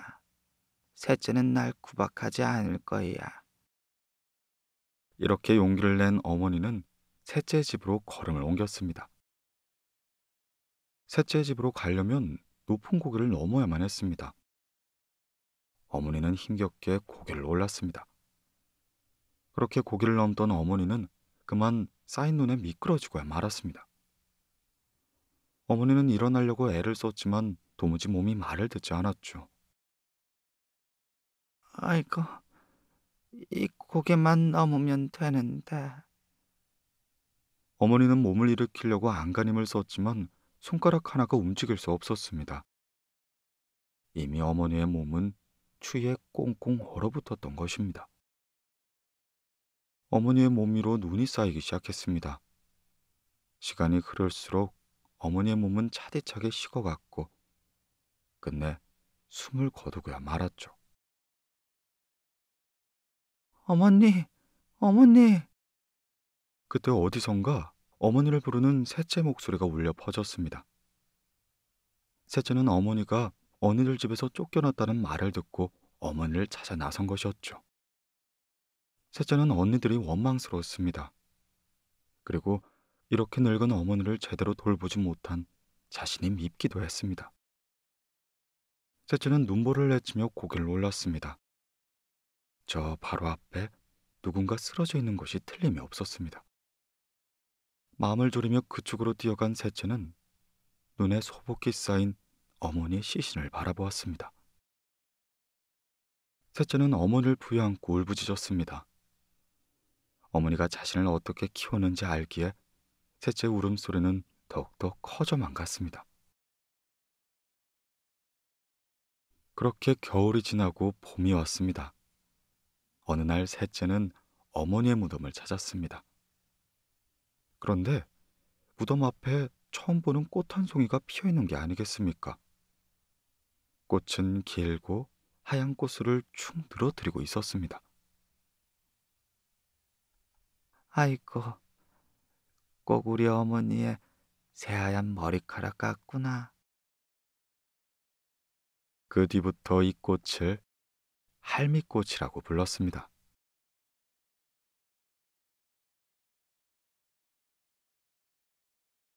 일곱 번째 이야기. 소원을 들어주는 그림. 옛날 어느 시골 마을에 가난한 선비가 살고 있었습니다. 너무너무 가난해서 아이들의 끼니마저 제대로 먹이지 못했죠. 선비는 국리 끝에 한양에 살고 있는 친구를 찾아가기로 마음먹었습니다. 그 친구는 어려서 헤어졌는데 무엇이든 서로를 돕기로 옛날부터 굳게 약속한 사이였습니다. 그래, 그 친구라면 우리 약속을 잊지 않았을 거야. 그렇게 친구의 집을 찾은 선비는 놀라 입을 다물지 못했습니다. 친구의 집이 고래등같이 커다란 곳이었죠. 아휴, 자네가 이렇게 부자가 되었는 줄 몰랐네. 그러면서 선비는 자기 형편을 이야기했습니다. 그러자 친구는 종이를 가져와 학을 한 마리 그려주었죠. 아니, 이따위 그림이 내게 무슨 소용이란 말인가? 선비가 기분이 나쁜 듯 얼굴을 붉혔습니다. 그러나 친구는 씩 웃으며 학의 다리를 회초리로 치면 좋은 일이 생길 거라 말했습니다. 단 하루에 한 번만 치라고도 말하였죠. 선비는 고개를 갸우뚱거리며 친구의 집을 나섰습니다. 선비는 친구의 말이 너무 궁금하여서 얼른 가까운 주먹으로 들어가 방을 하나 잡고는 학의 다리를 한 번 후려치기 시작했습니다. 그런데 이게 웬일일까요? 학의 다리를 때리자 학의 궁둥이에서 돈꾸러미가 떨어지는 게 아닙니까? 선비는 계속해서 학의 다리를 내리쳤고 그럴 때마다 학의 궁둥이에선 돈꾸러미가 떨어졌습니다. 그렇게 선비가 학의 다리를 스무 번쯤 때렸을 때였습니다. 선비가 너무 많이 때리는 바람에 학의 다리가 부러지고야 만 것이죠. 선비는 다시 친구를 찾아갔습니다. 그러게 내가 뭘 했나? 하루에 한 번만 치라고 하지 않았나? 친구는 혀를 끌끌 차며 이번엔 항아리를 그려주었습니다. 자, 이것을 똑똑 두드리면 돈이 나올 것인데 이번엔 꼭 하루에 한 번만 두드리게나. 선비는 입을 해 벌린 채 고개를 끄덕이곤 다시 주막으로 갔습니다. 방문을 잠그고 항아리를 두드리자 정말로 돈이 나오는 것이 아닙니까? 에이, 하루에 한 번씩 두드려서 언제 많은 돈을 모을까? 이렇게 생각한 선비는 항아리를 마구 두드리기 시작했고 신이 난 나머지 너무 세게 두드린 탓에 항아리는 산산조각 나고 말았죠. 이번에도 선비는 항아리를 멍하리 바라보다 친구를 또 찾아갔습니다. 친구는 다시 한번 선비에게 그림을 그려주었습니다. 자, 이 괴짝에다 손을 넣으면 돈이 나올 것이고 이번엔 꼭 하루에 한 번만 손을 넣게나. 이번에야말로 그렇게 하지 않는다면 정말 큰일이 날 걸세. 알아들었나? 괴짝 그림을 받아든 선비는 날아갈 듯이 기뻤습니다. 선비는 또 주막 안으로 들어가 괴짝에 손을 넣어 보았죠. 그러자 돈이 한 움큼 잡혔습니다.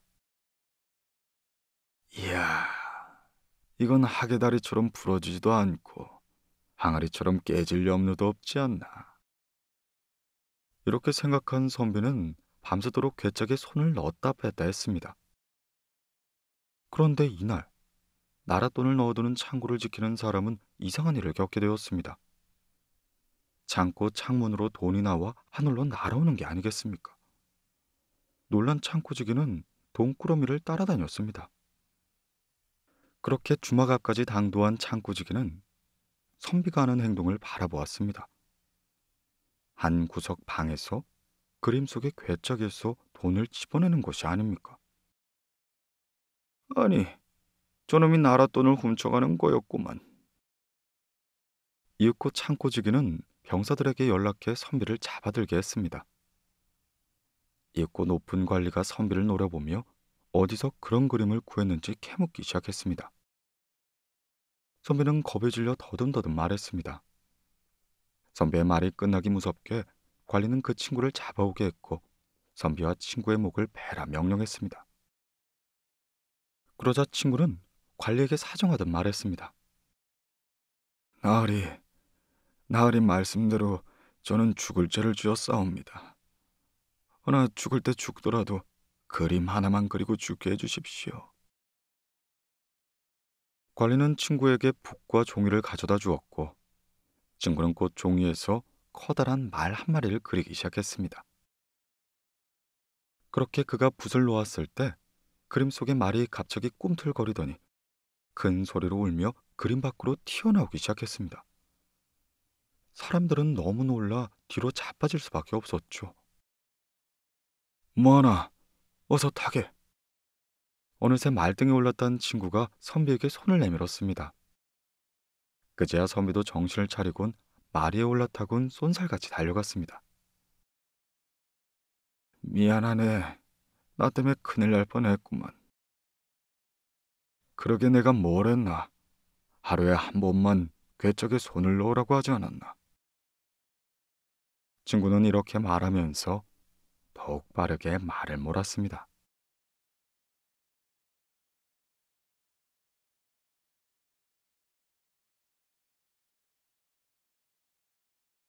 여덟 번째 이야기 소가 된 게으름뱅이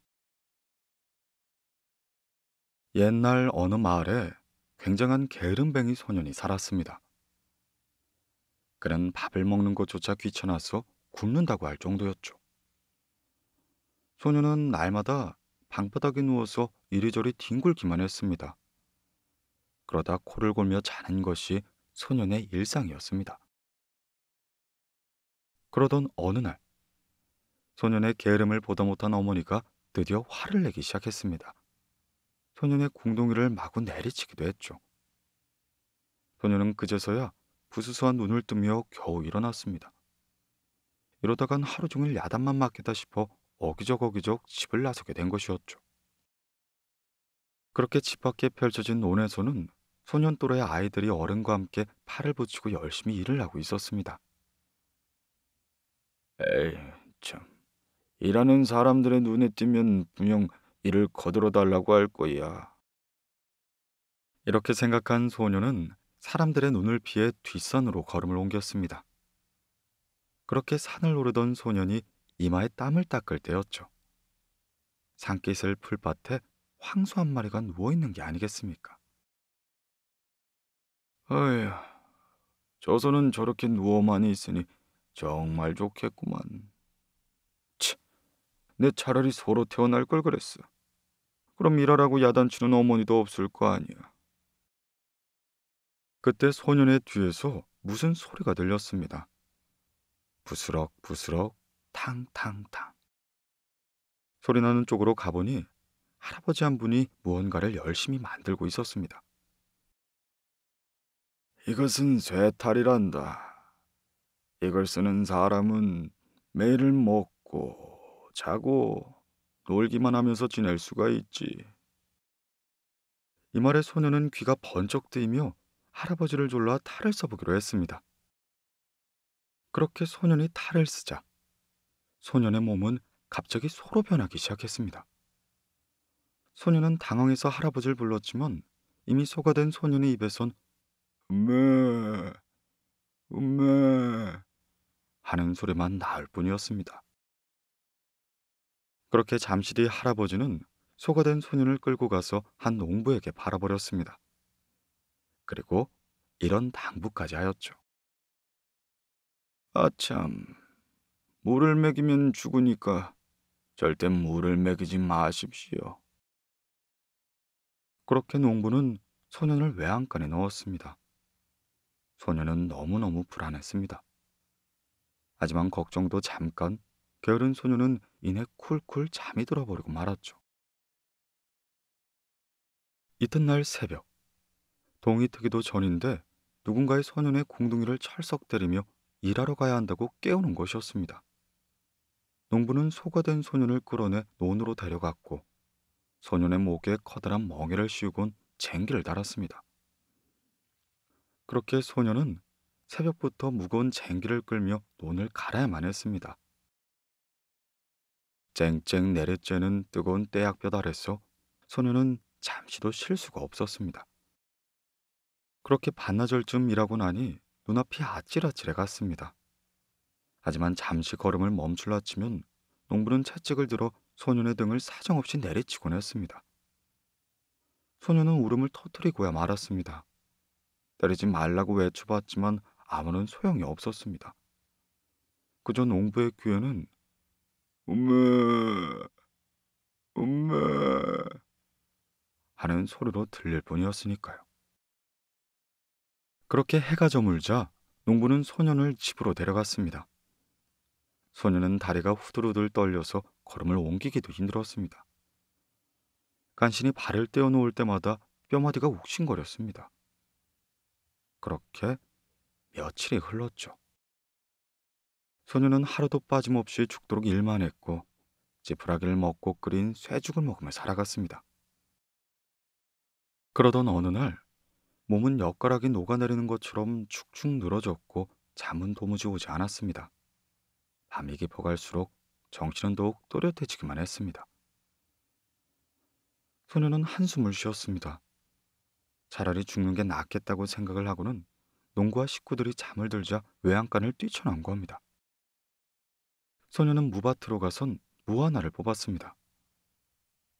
이게 다 내가 게으름뱅이였기 때문이야. 내가 게으름을 피우지 않고 또 소가 되기 바라지 않았다면 이런 일은 없었을 거야. 소년의 눈에선 눈물이 흘렀습니다. 하늘을 올려다본 소년은 눈물을 흘리며 물을 으적으적 씹어 삼켰습니다. 이젠 죽는구나 싶었는데 한참이 지나도록 아무 일이 없었습니다. 물을 너무 조금 먹어서 그런가 싶어 다시 무 하나를 뽑으려고 할 때 아니 어떤 놈이 이 밤중에 남의 밭을 서리하는 거야? 소년은 뒤를 돌아보았습니다. 거기엔 무밭 주인이 소년을 향해 손가락질하며 소리치고 있었습니다. 아니, 저 아저씨 눈엔 내가 사람으로 보이나? 자신의 모습을 살펴보니 어느새 사람의 모습으로 변해 있었습니다. 소년은 믿을 수가 없다는 듯 자신의 얼굴과 몸을 만져보기 시작하였습니다. 그렇게 소년은 기쁨의 눈물을 흘리며 자기 집으로 달려갔고 꿀은 동네 사람들 모두가 칭찬을 아끼지 않을 정도로 부지런히 일하는 새 사람이 되었습니다.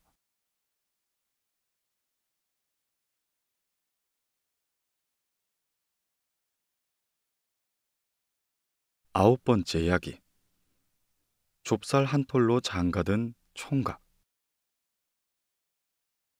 옛날 어느 시골에 한 총각이 살고 있었습니다. 그 총각은 몹시 가난해서 결혼을 할 나이가 이미 지났는데도 장가를 들지 못했습니다. 하지만 총각은 굉장히 재치 있고 총명한 사람이었습니다. 아휴, 내가 어떻게 해야 장가를 들 수 있을까? 뒤어 총각은 부엌을 뒤져 좁쌀 한 톨을 찾아내서는 조심스럽게 주머니에 넣었습니다. 그리곤 한양으로 길을 떠나고 만 것이죠. 며칠 뒤에 총각은 어느 주막에 들어가 좁쌀을 꺼내며 이렇게 말했습니다. 저, 이게 늘 가지고 다니는 아주 소중한 것인데 잘 맡았다가 제가 떠날 때 주실 수 있겠습니까? 이에 주막 주인은 웃음을 참아내며 부엌 아궁이 위에 아무렇게나 두었습니다. 이튿날 날이 밝자 총각은 떠날 채비를 하고서는 주인에게 좁쌀을 달라고 했습니다. 그러나 주인은 잊고 있었던지 부엌에서 나오며 쥐가 잡아먹었는지 없다고 말했습니다. 총각은 화를 발끈 내며 찾아내라고 했습니다. 주인이 어쩔 줄 몰라 하자 총각은 잠시 생각하는 채 하더니 그 좁쌀을 먹은 쥐를 잡아내라고 말했습니다. 총각이 하도 막무가내인 탓에 쥐는 쥐를 잡아다 주었습니다. 그렇게 총각은 쥐 한 마리를 들고 길을 떠나게 되었습니다. 총각은 밤이 되자 또 다른 주막에 들어가서는 쥐를 맡기곤 다음날 아침에 달라고 했습니다. 주인은 썩 내키진 않았지만 손님의 부탁이라 거절할 수가 없었죠. 이튿날 아침, 총각은 맡긴 쥐를 달라고 했으나 주인은 대수롭지 않다는 듯 고양이가 뭐가 없다고 했습니다. 이번엔 총각은 그럼 고양이를 내놓으라고 했죠. 얼마나 길길이 날던지 주막 주인은 도리 없이 총각에게 고양이를 내주었습니다. 총각은 다음 주막에 가서도 고양이를 맡기고 이튿날 달라고 했습니다. 주인은 미안한 듯 자기 집 말에 밟혀 죽었다고 말했습니다. 이에 총각은 눈에 불을 켜며 주인의 멱살을 잡고는 말을 내놓으라 했습니다. 내놓지 않는다면 당장 재판을 하겠다고 말이죠. 그렇게 주막의 주인은 말을 내어주었습니다. 다시 총각은 어느 주막에 들어갔죠. 다음날 주막 주인은 쭈뼛거리며 말을 내놓지 못했습니다. 지난밤에 말이 자기 집 황소와 싸우다 그만 죽어버렸다는 것이었죠. 이제 총각은 선심이라도 쓰듯 말 대신 소를 달라고 했습니다. 이렇게 해서 소를 얻어낸 총각은 한양으로 길을 떠나게 되었죠. 한양에 도착한 총각은 주막에 묵으며 소를 맡기 시작했습니다. 다음 날 아침 주인이 총각이 묵고 있는 방으로 오더니 걱정스러운 얼굴로 말하였습니다. 아이고 이를 어떡합니까? 아들 녀석이 자기 소인 줄 알고 정숙되게 팔아버렸는데요. 이에 총각은 정승을 만나 이야기해야겠으니 정승을 만나달라고 했습니다. 주막 주인은 하는 수 없이 정승을 만나 사정을 이야기했습니다. 총각은 어깨를 쫙 펴고는 정승집으로 들어갔습니다. 조금도 주눅 들지 않는 모습으로 말이죠. 총각은 자기의 소를 달라고 했습니다. 총각의 당당함이 마음에 든 정승은 이내 총각을 시험해 보기로 했습니다. 소를 달라고. 아, 이걸 어쩌나. 자네 소는 벌써 잡아먹었는데. 정승은 자기의 말에 총각이 어떻게 나올지 궁금했습니다. 총각은 잠시 생각을 하더니 그 고기를 먹은 사람을 대신 달라고 말했습니다. 정승은 웃음을 터뜨리며 자신의 딸을 달라는 뜻을 알아차렸습니다. 총각의 당당함과 재치가 마음에 든 정승은 이내 총각을 사이로 삼게 되었죠.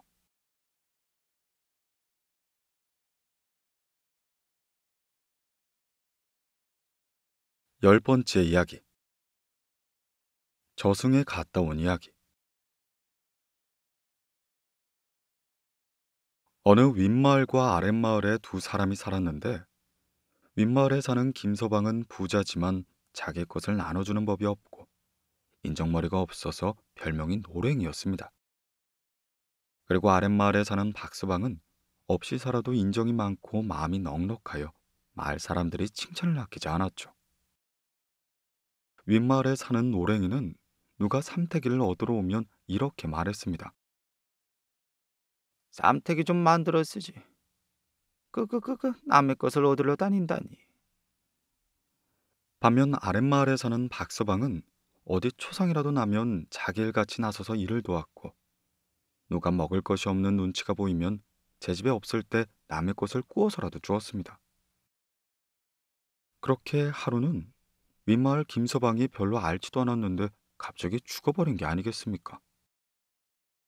그렇게 죽어 저승으로 간 김서방을 염라대왕이 보며 말했습니다.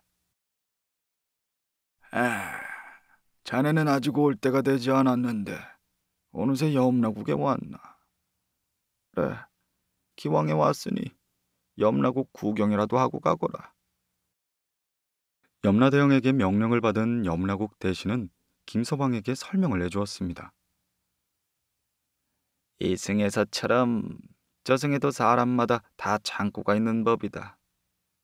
요 저승에게도 사람마다 가지고 있는 것을 다 창고에 넣어두고 있으니 자, 어디 네 창고도 한번 구경하겠는가? 그렇게 자신의 창고를 구경하고 있는데 김서방 창고의 문을 여니 그 큰 창고가 썰렁하게 비어 있는 게 아니겠습니까? 컴컴한 창고에 집 한 단이 내팽겨 쳐져 있을 뿐이었죠. 김서방은 화가 나며 말했습니다.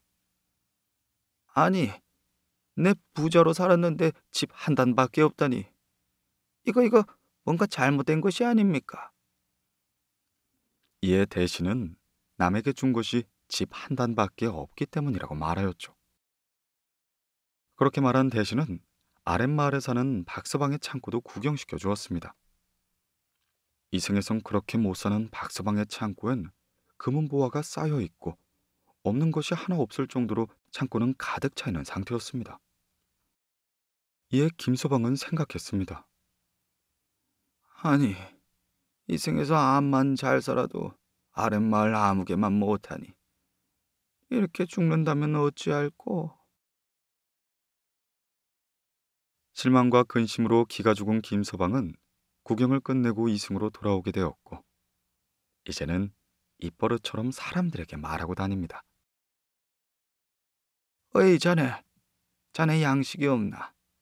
자자, 내 집에 와서는 쌀을 한번 갖다 먹게나. 어이 어이, 구경하고 있는 자네도 오거라. 그래 그래, 너도 와선 얼른 얼른 가져가거라.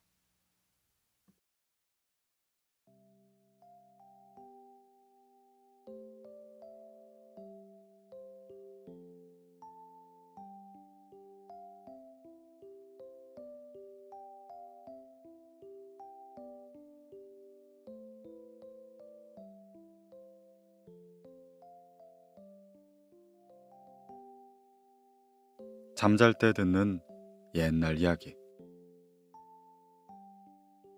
첫 번째 이야기. 자린고비. 옛날 충주 고을에 한 구두쇠 영감이 살았습니다. 그는 무슨 일을 하든지 쫌살뱅이처럼 잘고 치사해서 사람들이 이 구두쇠 영감을 자린고비라고 불렀죠. 하루는 자린고비 영감이 툇마루에 앉아서 장독대를 물끄러미 쳐다보았습니다. 그리고 그때 커다란 파리 한 마리가 장독대에 앉아서는 된장을 빨아먹고 있는 것이 아닙니까? 자린고비는 깜짝 놀라 신발 뒤축을 질질 끌며 냉큼 뛰어가기 시작했습니다.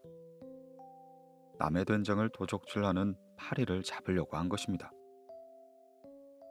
그러나 파리는 날쌔게 날아가서 고갯마루 장바위에 앉았습니다. 자린고비는 다시 한번 고갯마루 장바위로 내달리기 시작했습니다. 그렇게 조심조심 다가가서 파리를 치려는 순간 왕파리는 또다시 날쌔게 날아올랐습니다. 그렇게 자린고비 영감은 겨우겨우 파리를 잡아 파리에 붙은 된장을 떼어내었습니다. 자린고비 영감은 손가락에 묻은 된장을 받쳐들고 돌아오는데 날씨는 삼복이라 어찌나 더운지 온몸에서 땀이 뻘뻘 흘리는 것이 아닙니까? 이에 자린고비 영감은 허리춤에서 부채를 꺼내어 나뭇가지에 끼워놓고 고개를 좌우로 흔들었습니다. 이에 지나가는 허영감이 물었습니다. 그 부츠는 얼굴에 대고 손으로 붙여야 시원하지 않겠습니까? 그러자 자린고비 영감이 말했죠. 어허, 영감. 그리하면 부채가 닳지 않소. 고개를 저으면 이 모가지 뼈도 운동하게 되고 일거양득이 외다. 자린고비 영감이 집으로 돌아오니 마침 며느리가 쌀을 사되 반이나 대박으로 대고 있었습니다. 내일이 아버님 생신이라 떡을 하려고 하는 것이었죠. 이에 자린고비 영감이 말했습니다. 아유 아니다. 생일이라도 다 같은 날이야. 아침에 해가 떠서 저녁에 지는 다 같은 날인 것이야. 밥 대신 떡을 하면 손해가 아니더냐. 며느리가 말했죠. 아유, 아닙니다. 서대반을 가루내서 떡을 하면 너대 반이 더 되지요. 그렇게 말한 며느리는 쌀을 가루내기 시작했는데 영감이 옆에서 보니 정말 너대 반이 넘었습니다. 아이고 정말이네. 서대 반을 가루내었는데 떡을 하려니 너대 반이 넘는구나. 그렇게 떡이 다 되어 며느리가 떡을 내오는데 상에는 떡 접시와 냉수 한 그릇이었죠. 차린고비 영감은 또 한 번 속으로 생각했습니다. 아이고 그렇구나. 떡은 반찬 없이 맹물하고만 먹어도 되는구나. 게다가 떡 맛도 훌륭했습니다. 그래서 자린고비 영감은 앞으로는 밥을 하지 않고 떡만 하라고 지시했습니다. 그렇게 자린고비 영감은 평생 이렇게 살아 말년에 큰 부자가 되었습니다. 어느 날 하루는 고을에 새로 이사 온 젊은이가 자린고비 영감에게 부자가 되는 법을 물어왔습니다. 이에 영감은 젊은이를 데리고 뒷산으로 가서 산 꼭대기 키 큰 소나무 가지에 매달리게 했습니다. 그리고 밑에서 젊은이를 올려다보며 이렇게 말했습니다. 자, 이제 한 손을 놓아 보시게. 젊은이가 한 손을 놓으며 말했습니다. 아이고, 이렇게 떨어지면 죽겠어요. 암, 죽지. 한 팔로 소나무 가지에 매달린 젊은이가 다음에 어떻게 하냐고 물었습니다. 다음에는 다른 손마저 놓아 보시게.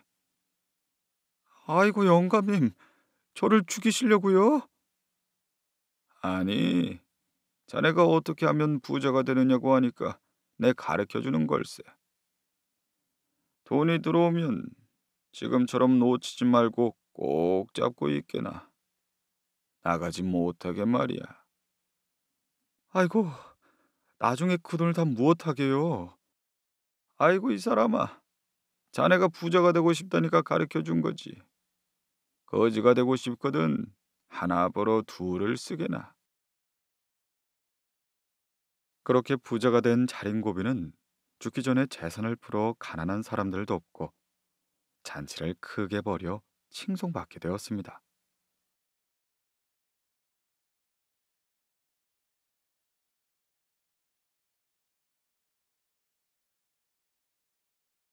두 번째 이야기 화공의 사랑 옛날 중국 어느 마을에 그림을 잘 그리는 화공이 살고 있었습니다. 그리고 그 화공에게는 매우 아름다운 아내가 있었죠. 두 사람은 금실이 좋아서 남들의 부러움을 사고는 했습니다. 그러던 어느 날 화공 부부가 사는 마을에 사또가 새로 부임하게 되었습니다. 그 사또는 포악하기로 이름난 사또여서 사람들은 몹시 불안에 떨기 시작했습니다. 아니나 다를까 사또는 부임해 온 첫날부터 본색을 드러내기 시작했죠. 이방, 이 고을에는 질색미인들이 많다는데 어디 한번 구경이나 해보자. 예, 당장 불러드리겠습니다. 간신건성이 있는 이방은 사또에게 점수를 따려고 마을에 있는 미인을 전부 불러 모았습니다. 그런데 평소 워낙 여자를 밝히는 사또는 이방이 불러들인 여자들을 살펴봤지만 눈에 차는 얼굴이 하나도 없었습니다. 사또는 말했습니다. 이방은 이런 얼굴이 미인이라고 생각하는가?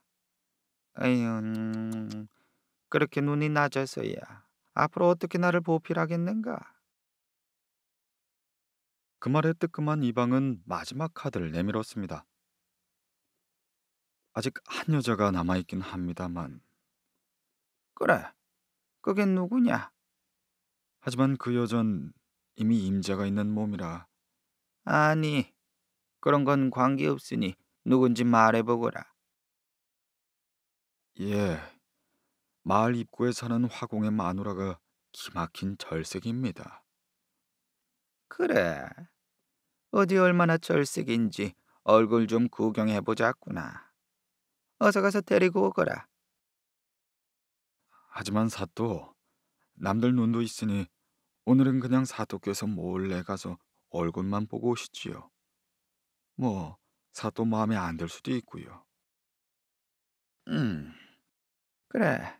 네 말도 일리가 있구나. 그렇게 하도록 하죠. 그렇게 사또는 평복으로 갈아입고 이방의 안내를 받아 화공의 집 근처로 갔습니다.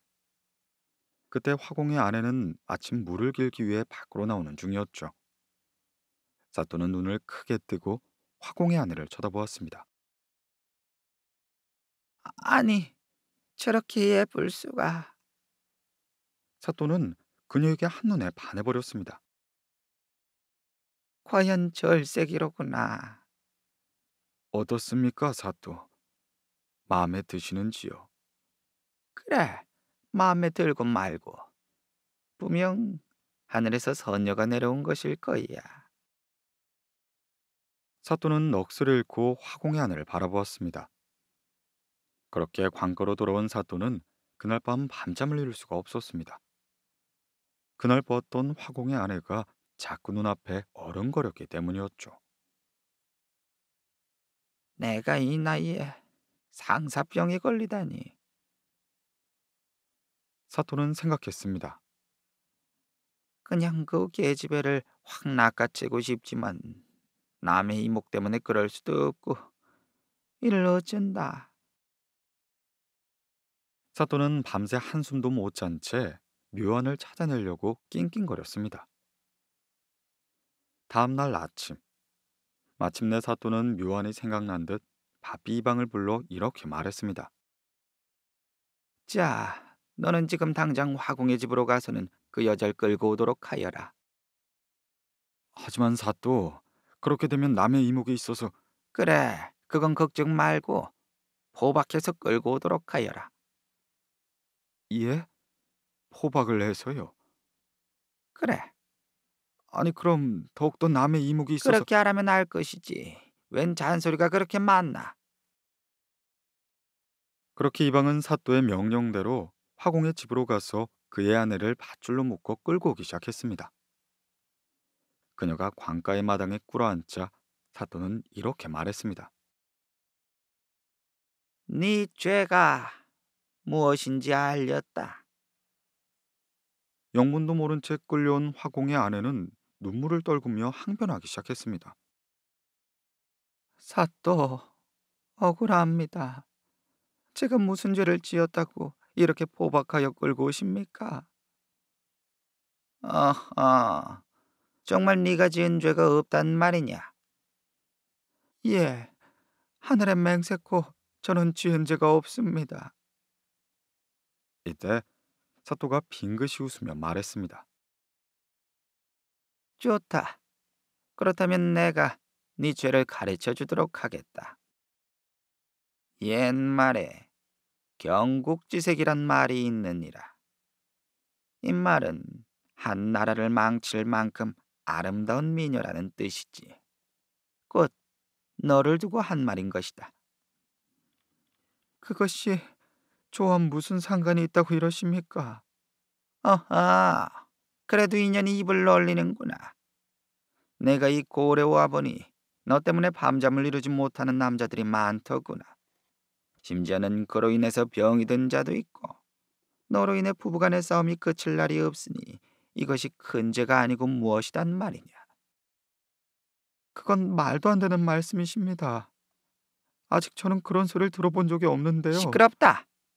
이젠 네 선택만 남았다. 옥살이를 하겠느냐, 아니면 내 첩이 되겠느냐. 그녀는 그제야 사똥의 의중을 알아채고는 눈을 부릅뜨며 소리쳤습니다. 말도 안 되는 소리. 차라리 나를 옥으로 가두시오. 좋다. 어디 누가 이기나 한번 해보자꾸나.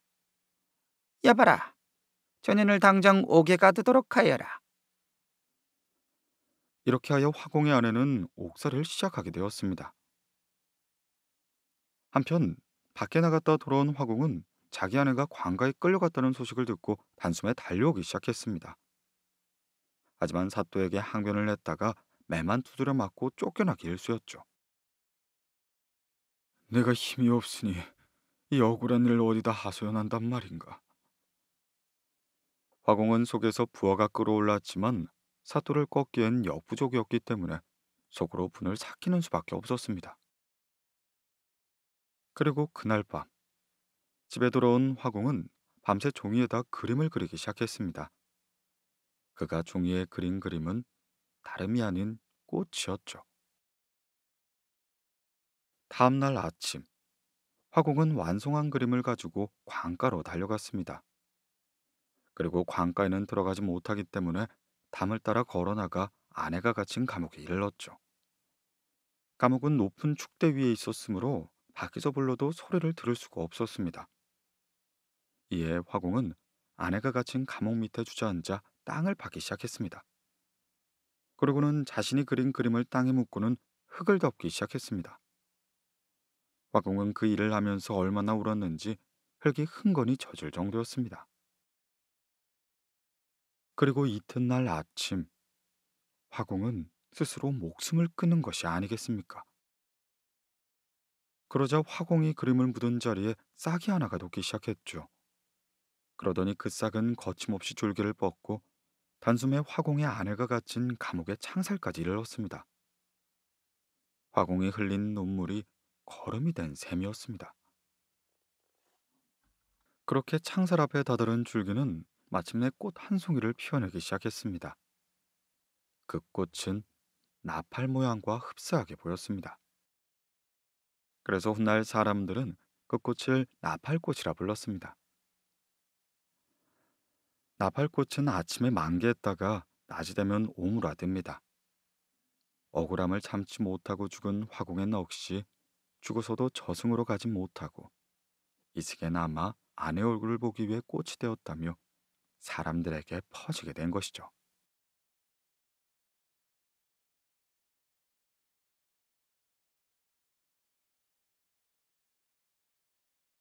세 번째 이야기. 팔이 내딸린 사내.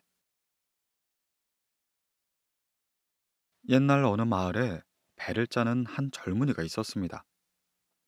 그는 배를 짜는 일로 아내와 아이들을 먹여 살리고 있었습니다.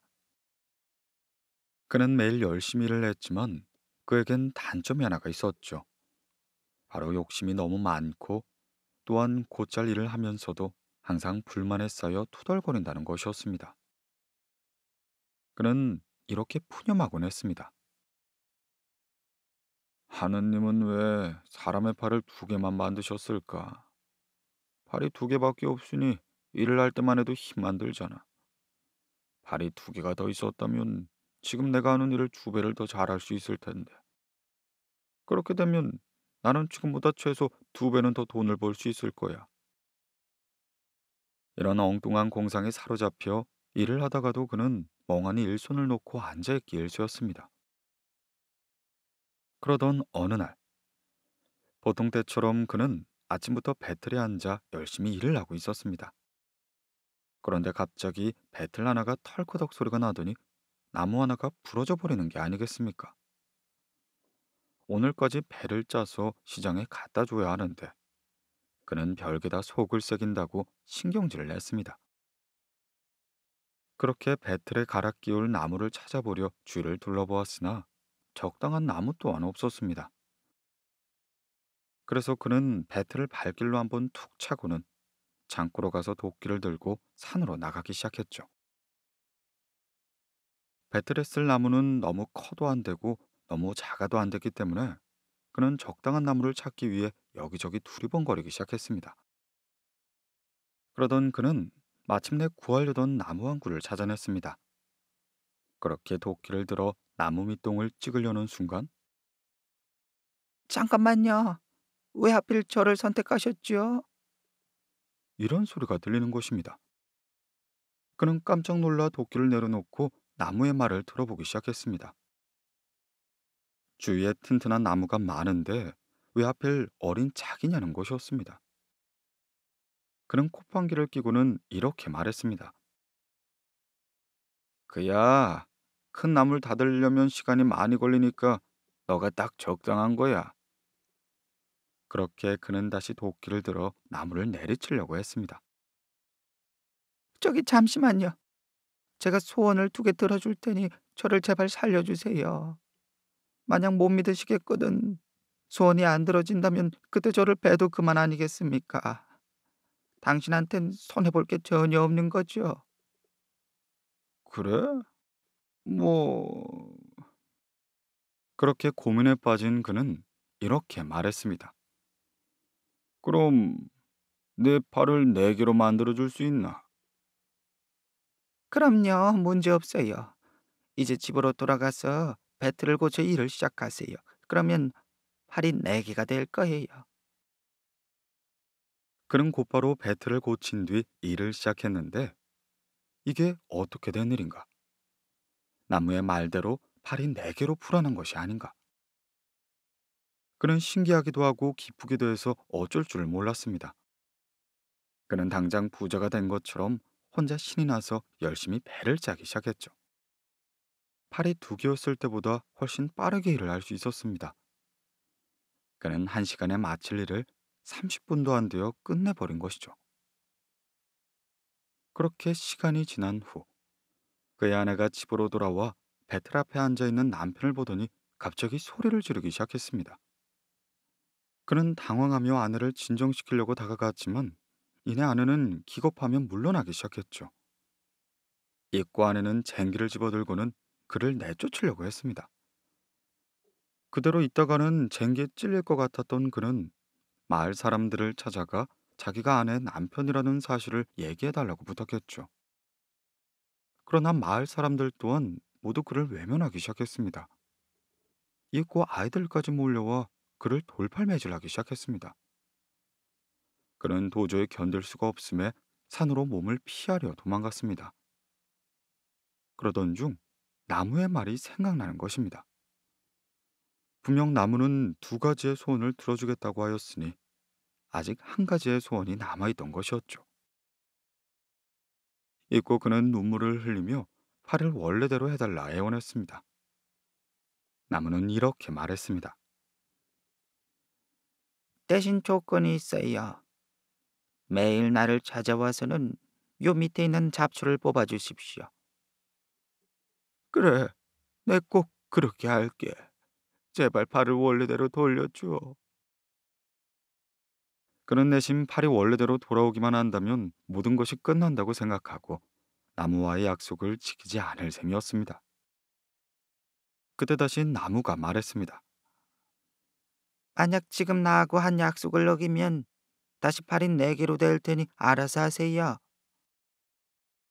그의 속마음을 훤히 들여다보던 나무가 이렇게 조건을 걸었습니다. 겁이 난 그는 나무와의 약속을 지킬 수밖에 없었죠. 그렇게 다시 원래의 모습을 되찾은 그가 산에서 내려오자 그제야 마을 사람들은 그를 반갑게 맞아주었습니다. 어휴, 이 사람은 어디 갔다 오나? 아까 자네하고 똑같이 생긴 도깨비가 나타났었는데. 그는 대꾸를 하지 않고 집으로 갔습니다. 아내도 방금 전에 괴물이 나타났다고 했었지만 그는 별다른 반응을 보이지 않고 곧장 배틀 앞에 가서 일을 하기 시작했죠. 결국 그는 원래 모습으로 돌아왔을 뿐 예전에 비해 변한 건 하나도 없었습니다. 그리고 그는 자기가 살고 있는 일상이 얼마나 행복한 것인지 다시 한번 생각하게 되었습니다.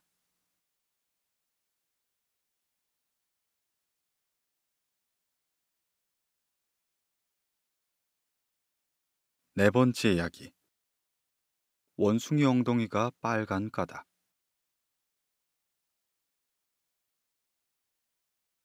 옛날 재산이 많은 부자 영감 부부가 살고 있었습니다.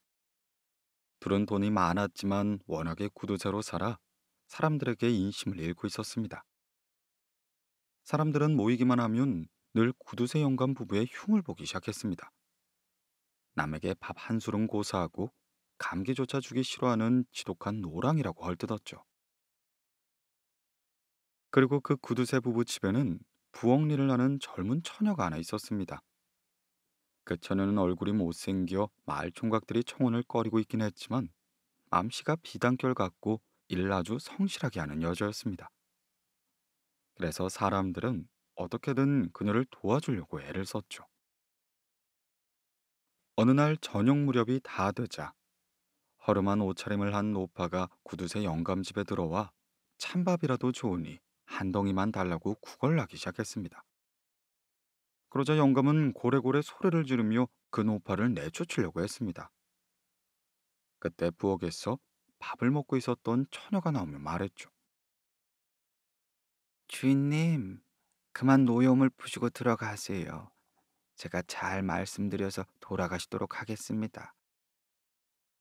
에잉, 밥알 하나라도 주면 안 된다. 그냥 얼른 내보내고 문을 닫아 걸어 잠그거라. 구두쇠 영감은 매정하게 소리치곤 방으로 들어갔습니다. 그 틈에 착한 처녀는 얼른 부엌으로 들어가 자기가 먹던 밥을 노파에게 주었습니다. 처녀가 내민 밥을 받아든 노파는 이내 눈물을 흘리며 말했습니다. 아이고, 이렇게 고마울 수가. 아가씨는 분명히 복을 받을 거야. 진수성찬을 받은 것보다 더 감격스럽구먼. 나한테 은혜를 베풀었으니 나도 뭔가 보답을 해야지. 그래, 며칠 뒤에 아가씨는 산속으로 들어갈 일이 생길 거야. 그 산속에는 작은 옹달샘이 하나 있는데 그물로 세수를 하도록 해요. 그럼 반드시 좋은 일이 생길 것이야. 며칠 뒤 정말 노파의 말대로 처녀가 산속에 들어갈 일이 생겼습니다.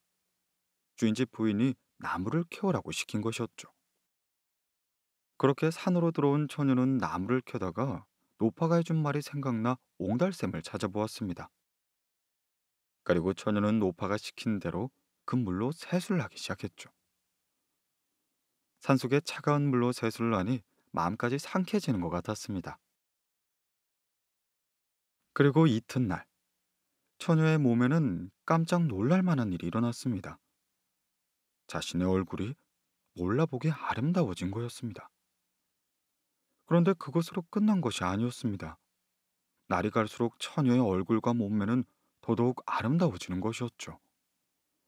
하루가 다르게 아름다워지는 처녀를 사람들은 의아한 눈으로 바라보았습니다. 그렇게 예전엔 관심조차 두지 않았던 총각들도 너도나도 청혼을 해오기 시작했습니다. 그렇게 하루아침에 인기가 있는 존재가 되어버린 처녀를 시기하는 사람이 딱 두 사람이 있었습니다. 바로 구두쇠 영감 부부였습니다. 가만히 보니 부잣집 총각들도 청혼을 해오길래 그들은 그녀를 양딸로 삼기 시작했습니다. 처녀는 그들의 양딸이 된 뒤에도 여전히 성실하게 양부모를 모셨습니다. 그러던 어느 날 구두쇠 영감이 처녀를 불러 물었습니다. 얘야, 이 애비가 하나만 물어보자. 요즘 네가 예전에 비해 몰라보기 예뻐졌는데 그 비결이 뭔지 가르쳐 줄 수 있겠니? 처녀는 양아버지의 물음에 서슴없이 대답했습니다. 예, 구두쇠 영감 부부는 처녀의 말을 듣고 산속으로 들어가 옹달샘 물을 찾아 세수를 하기 시작했죠. 그렇게 한껏 기대하며 세수를 마치자마자 그들의 얼굴은 갑자기 벌겋게 달아오는 것이 아닙니까? 두 사람은 얼굴뿐 아니라 전신으로 퍼지는 가려움을 건드지 못하고 손톱을 세워 마구 긁어대기 시작했습니다. 얼마나 긁어댔던지 손톱에 핏물이 배어들 정도였습니다. 그러더니 나중엔 온몸이 털이 생기면서 얼굴도 원숭이의 형상으로 바뀌어만 갔습니다. 아이고, 이 앙큼한 계집애한테 우리가 속았구나. 내 인연을 그냥 부부는 이를 갈며 집을 향해 달려갔습니다. 달려가는 중에도 두 사람의 모습은 점점 원숭이를 닮아가고 있었습니다. 한편 집에서 양부모를 기다리고 있었던 처녀는 그들을 맞이하려 대문 밖에서 서성거리고 있었습니다. 그때 예전에 보았던 노파가 허둥지둥 달려오더니 얼른 몸을 피하라고 일러주는 것이 아닙니까? 노파의 말로는 양부모 내외가 죄를 받아 원숭이로 변했는데 그 안갚음을 하려 달려고 있다는 것이었죠. 그리고 노파는 숯불을 가져와 마당에 모닥불을 피우라고 했습니다. 처녀는 노파가 시키는 대로 마당에 모닥불을 피우기 시작했습니다. 잠시 후 정말 노파의 말대로 구두쇠 영감 내외가 원숭이 형성을 하고선 씩씩대며 달려오고 있었습니다. 두 사람의 눈은 마치 사람을 잡아먹을 것처럼 이글이글 불타오르고 있었습니다. 그렇게 대문이 벌컥 열리며 영감 부부가 뛰어들어왔습니다. 그때 처녀는 놀라 뒤로 물러서기 시작했죠. 구두쇠 영감 부부는 달려오는 탄력을 재우지 못한 채 그만 모닥불을 깔고 앉으며 엉덩방아를 찢고 말았습니다. 이윽고 두 사람의 엉덩이는 털이 모두 타고 살도 벌겋게 익어버렸습니다. 너무 놀란 두 사람은 다시 산속으로 도망가기 시작했습니다. 그 몇 년의 세월이 지났지만 원숭이로 변한 두 사람은 좀처럼 자기 모습으로 돌아오지 않았고 불에 대어 벌겋게 된 엉덩이에도 새살은 돋지 않았습니다. 두 사람은 다시는 세상에 나오지 못한 채 산속에 숨어 살았다고 하죠.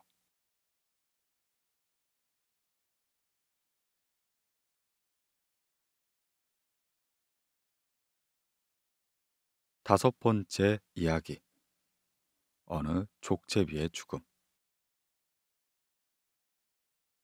옛날 어느 마을에 사는 여인이 아이를 낳았습니다.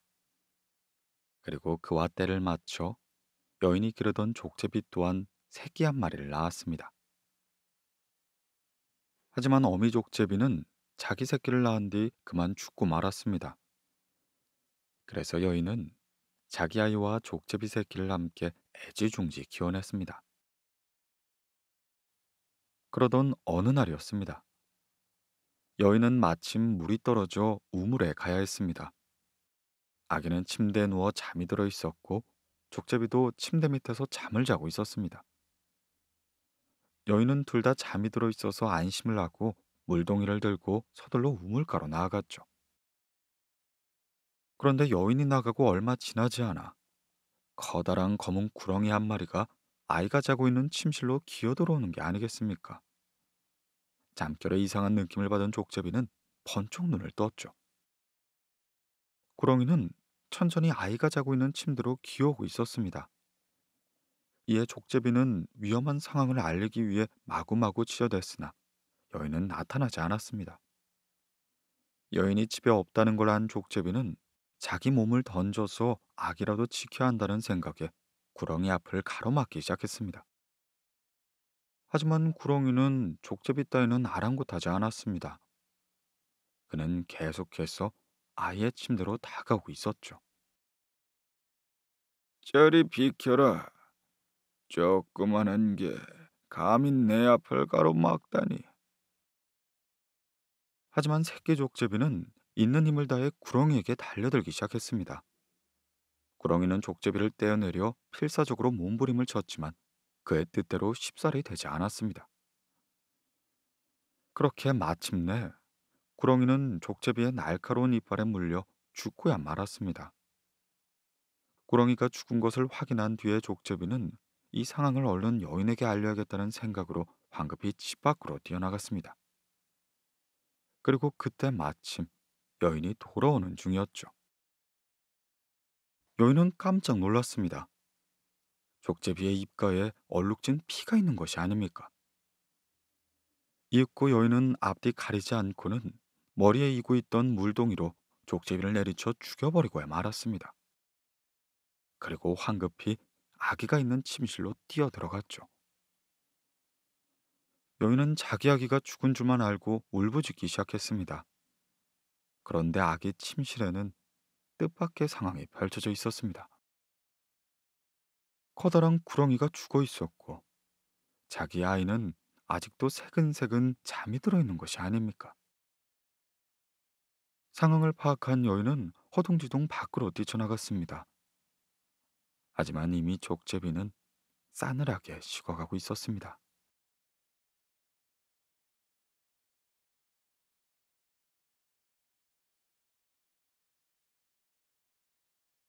여섯 번째 이야기. 병아리 도둑이 낙타 도둑 된다. 어느 마을에 어린 아들과 어머니가 살고 있었습니다. 어느 날 어린 아들은 그저 장난삼아 이웃집에서 계란을 슬쩍 훔쳐왔습니다. 그런데 아들은 이 계란을 자기가 먹지 않고 어머니에게 갖다 주었습니다. 그랬더니 어머니는 아들을 꾸중하긴커녕 도둑질해온 계란으로 맛있는 요리를 해주었습니다. 아들은 그런 어머니 행동을 당연하게 받아들였습니다. 이윽고 계란을 훔치는 게 죄가 되지 않는다고 생각한 아들은 자주 이웃집에서 계란을 훔치고 도둑질이 습관이 되어버렸습니다.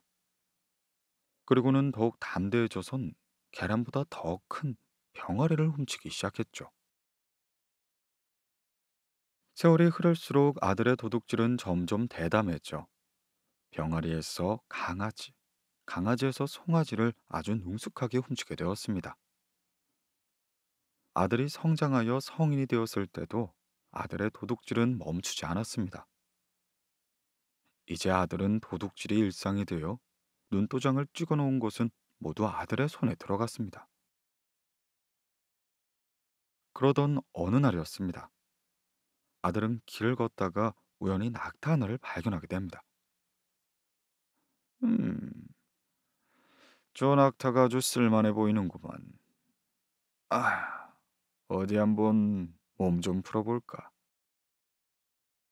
그런데 공교롭게도 그 낙타는 바로 왕의 것이었습니다. 이 나라에선 물론 외국에서도 찾아보기 힘든 아주 귀한 낙타였죠.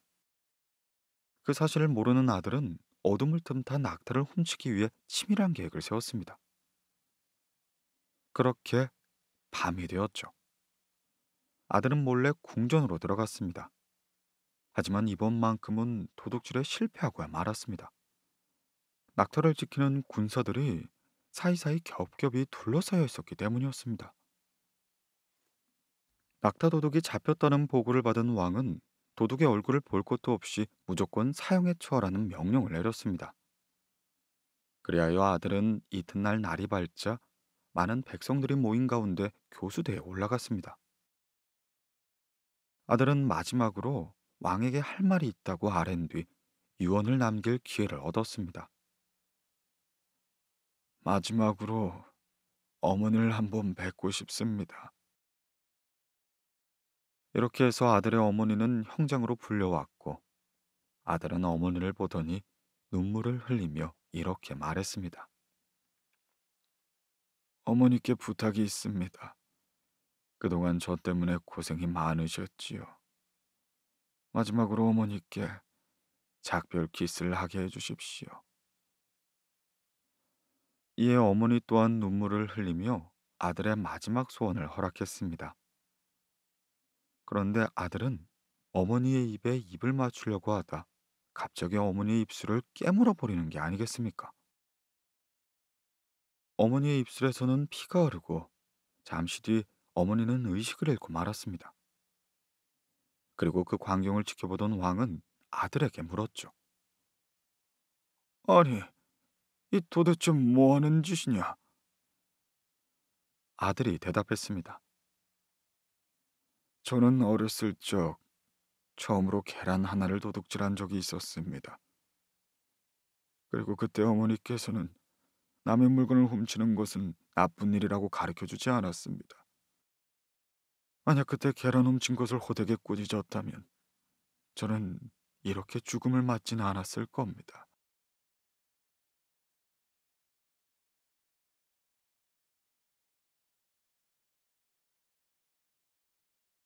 일곱 번째 이야기. 사람이 늙는 진정한 이유. 옛날에 한 젊은 사내가 살고 있었습니다. 그는 늘 사람이 왜 늙는지에 대해 고민을 했죠. 그것은 인생이란 도대체 무엇이고 행복이란 어떤 것을 말하는 것인가 라는 것에 대한 질문이기도 했습니다. 그러던 어느 날이었습니다.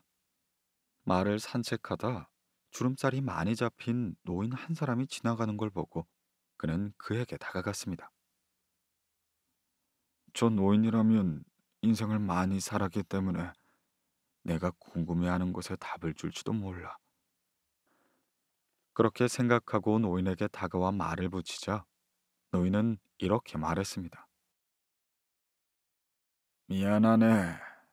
나는 인생을 아직 덜 살았기 때문에 그 문제에 대한 답을 줄 수가 없구려.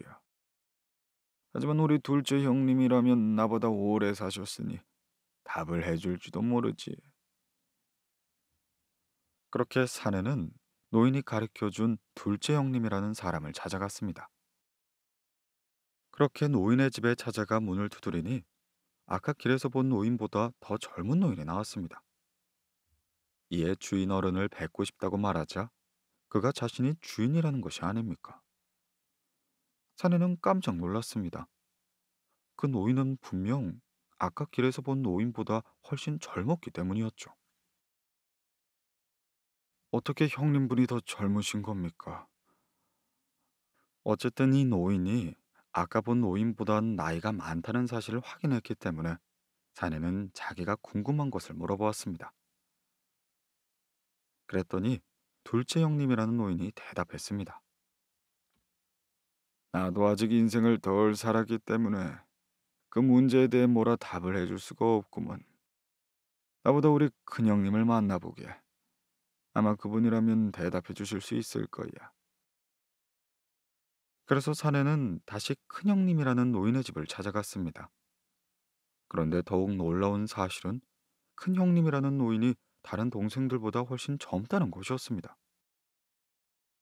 참 이상하군요. 저는 방금 두 아우님들을 만나고 오는 길인데 어째서 형님이라는 분이 더 젊을 수가 있습니까? 그러자 큰형님은 껄껄 웃으며 대답했습니다.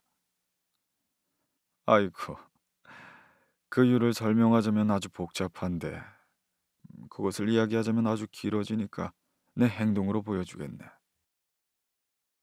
큰형님은 이내 사내를 안으로 들어오라고 했습니다.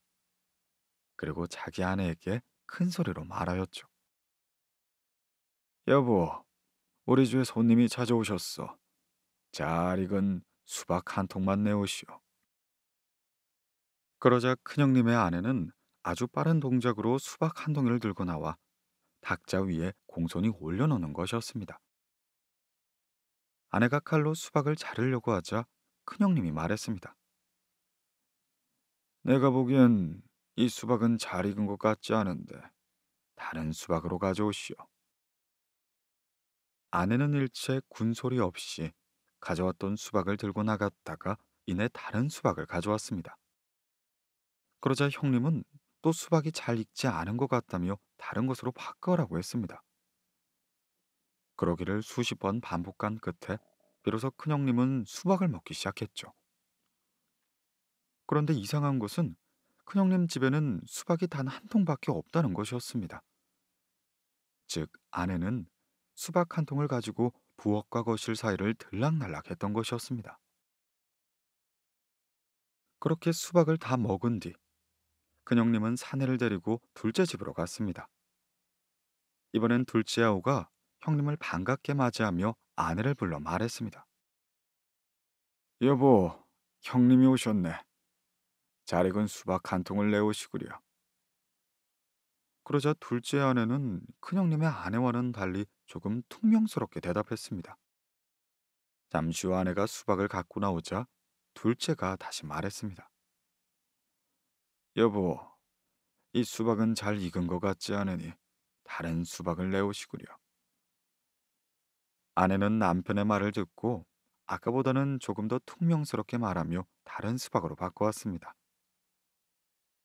그리고 그러기를 열 번 거듭하자 아내가 화를 내며 말하였죠. 도대체 지금 뭐 하는 거예요? 이게 마지막이니 드시든지 말든지 마음대로 하십시오. 사내가 부엌으로 가보니 그곳엔 모두 열 통의 수박이 있었습니다. 그렇게 큰형님은 다시 사내를 데리고 아우의 집으로 데려갔습니다. 막내 아우도 큰형님을 반갑게 맞이했습니다. 그리고 아내에게 잘 익은 수박 한 통을 내오라고 말하였습니다. 막내 아내는 매우 불쾌한 표정을 지으며 마지못해 수박 한 통을 들고 와 탁자 위에 내려놓았습니다. 그 행동을 본 막내 아우는 신경질을 내며 아내에게 버럭 소리를 질러댔죠. 아니, 군형님이 손님을 모시고 오셨는데 그렇게 불손하게도 된단 말이야. 뭐야? 수박을 갖다 달래서 갖다 주었는데 내가 뭘 잘못했다고 이러는 거예요? 아이, 됐어. 이 수박은 너무 오래된 것 같으니 싱싱한 걸로 갖고 오라. 하지만 아내는 팔짱을 낀 채 꼼짝하지 않았습니다. 채, 먹을 사람이 갖다 먹어요. 수박은 부엌에 쌓여 있으니까. 잊고 사내가 그 집 부엌에 가보니 정말 큼지막한 수박이 가득 쌓여 있었습니다. 막내가 세 형제 중 가장 부자였기 때문에 먹을 것은 풍부한 것이었죠. 그리고 사내는 그제야 고개를 끄덕이고 말았습니다. 사람이 늙는다는 것은 흐르는 세월 때문이 아니라 얼마나 행복하게 사느냐에 따라 달려 있다는 걸 그는 알게 된 것이었습니다.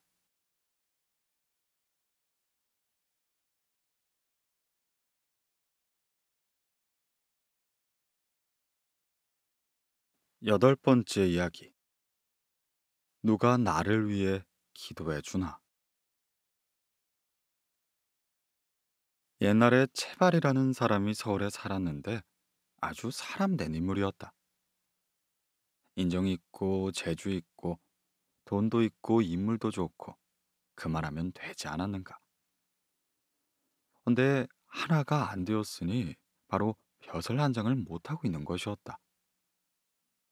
한 번은 장가를 들기 전에 사주를 보니 이런 이야기가 있었다. 절대로 처마 및 덤불 밑에 장가를 들 때 가마를 놓지 말라. 만약 그런 날에는 다른 사람이 백일지성을 들어주어야 잘 된다. 라고 말하는 것이었습니다. 이 사람은 속으로 남자가 장가를 들러 가면 말을 타지 왜 가마를 탈 것인가? 그리고 뭐가 그리 큰 탈이 날리라고 백일치성까지 들이나? 이런 생각을 하였습니다. 얼마 후 그는 말을 타고 참하고 아리따운 처녀에게 장가를 들었습니다. 3일 우기라고 이제 새 장가를 든 처갓집에서 잘 지내고서 자기 집을 가는 길인데 그 신부를 태운 가마가 남의 집 처마 밑에 가더니 그만 가마끈이 뚝 떨어지는 것이 아닙니까? 가마를 맨 사람은 몸에 끈을 걸어 이 가마를 걸고 드는데 갑자기 가마를 메고 가는 터에 이런 일이 생겨버린 것입니다. 남자는 속으로 사주에 대한 생각을 하게 되었습니다. 아이고, 일이 참 공교롭게 되었구나. 이제 남은 일이라고는 누가 나를 위해서 백일지성을 들어주는 일인데 그 누가 나를 그리 위해 줄 것인가? 이것은 돈으로도 될 일이 아니었습니다. 말이 그렇지 백일지성이 그 얼마나 어려운 것입니까? 백일은커녕 열흘치성 아니 일회치성 아니 사흘치성도 어려운 법이었죠. 하루 내내 자기를 위해 기도하는 것도 어려운 일인데 하물며 남을 위해 하루 내내 기도라니 그것이 얼마나 어려운 일입니까? 이 꽃채발은 이렇게 생각했습니다. 그래, 그 누구의 기도를 바라기 전에 벼슬은 안 해도 좋으니 내가 좋은 일을 하거나 살자꾸나. 이렇게 마음을 정한 채발은 할 수 있는 대로 남을 우대하고 대접하고 재산을 바쳐 베풀기 마지 않았죠. 그렇게 어느 정도 시간이 지나자 마을에선 마음씨 고운 채발이라고 소문이 널리 퍼지기 시작했습니다. 한편 경상도 어디에 머슴살이하는 채서방 하나가 살고 있었습니다. 그는 고단한 사람이었죠. 어려서부터 남의 집을 살다가 어찌어찌하여 뒤늦게 장가를 들었으니 이제 채서방이 된 것입니다. 그러나 원래 천한 머슴인지라 애나 어른이나 나이가 어린 계집애나 늙어 빠진 할망구나 여기서도 저기서도 어이, 채가. 어이, 제가. 어이, 제가. 하고 불러대니 여간 속이 상하는 게 아니었습니다. 한 번은 채가의 처가 이렇게 말했습니다. 당신은 그래 일가 친척도 없습니까? 좀 괜찮은 일가가 있다면 이런 하실을 면할 것이 아니요. 그렇게 곰곰이 생각한 채서방은 서울의 채바리가 생각이 났습니다. 이리하여 경상도에 사는 머슴 채서방이 서울에 사는 사촌인 채바리를 찾아 상경하기 일렀죠. 그런데 우리가 익히 알다시피 서울 채바리하고 시골 채가하고는 채가 성만 같다 뿐이지 사촌은커녕 팔촌도 아니었습니다. 그리하여 이 채가는 채바리를 만나게 되고 만나서는 자신의 이야기를 다 전달했습니다. 채발은 저절로 생긴 사촌을 잘 대접하고 자신이 벼슬을 살게 되면 경상도 감사로 내려가서는 잘 살게 해주겠다고 약속을 하게 되었죠. 이에 채가는 기뻐하며 고향으로 내려가서 저에게 사촌 채발의 이야기를 당당하게 말했습니다. 그랬더니 그 촌은 이렇게 말하였죠. 아이고, 그렇다면 어서 사촌 시숙이 경상 감사가 되라고 칠성당에서 백일지성을 드려야겠어요. 그렇게 백일지성이 끝나자 제발이는 과거에 합격하게 되었습니다. 마침내 경상감사가 된 채바리는 경상도에 내려가 채가를 잘 보살펴 주었죠. 사람의 인심은 이런 것입니다. 한번 손꼽아 나를 헤아려 보죠. 그누가 나를 위해 기도를 해줄까? 나는 해주고 있나? 하는 식으로 말입니다.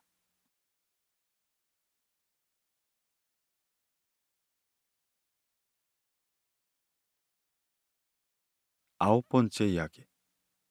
형제 간의 우애. 옛날 어느 마을에 삼부자가 살았습니다. 아버지하고 아들 둘하고 살고 있는데 맞이는 사람이 좋아 용하고 순한 인물이었죠. 그리고 거기에 비하면 동생은 다부지고 독한 편이었습니다. 병이 물러 터질 정도는 아니나 아버지가 안 계실 때 살림을 잘 할지 몰라 아버지는 그를 걱정하게 되었습니다.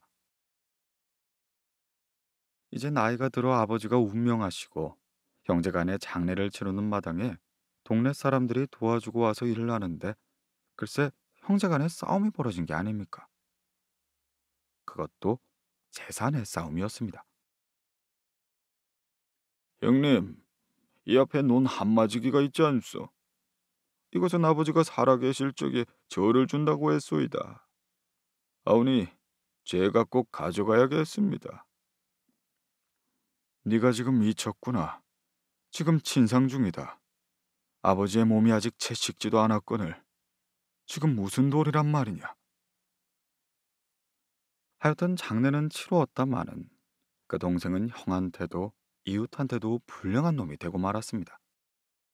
고작 논 한마지기에 남은 것을 다 독차지한 불효불회한 놈.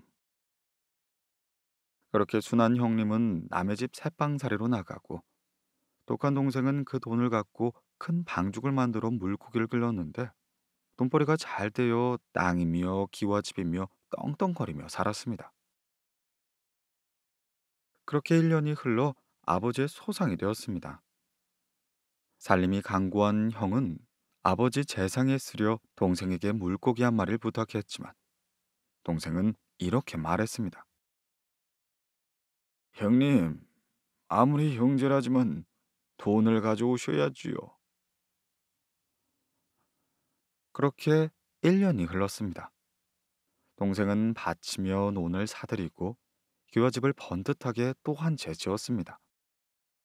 물론 세간 또한 그 집에 그득그득 지어놨었죠.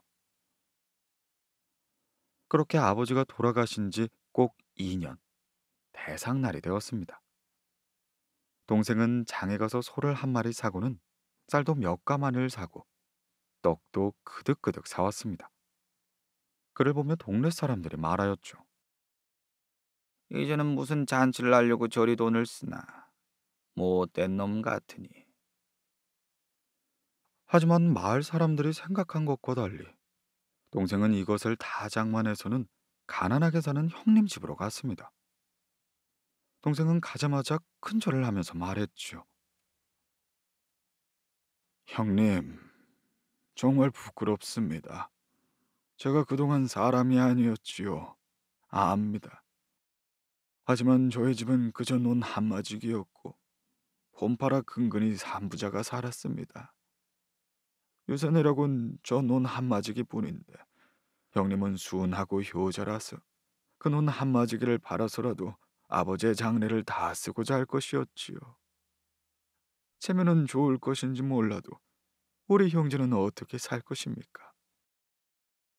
자, 이제 2년이 흘렀습니다.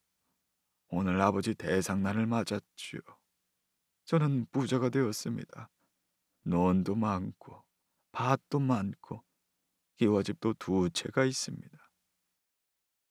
형님, 그동안 얼마나 고생하셨습니까? 동기 사이의 전들 왜 형님 고생을 모르리까? 이것 보십시오.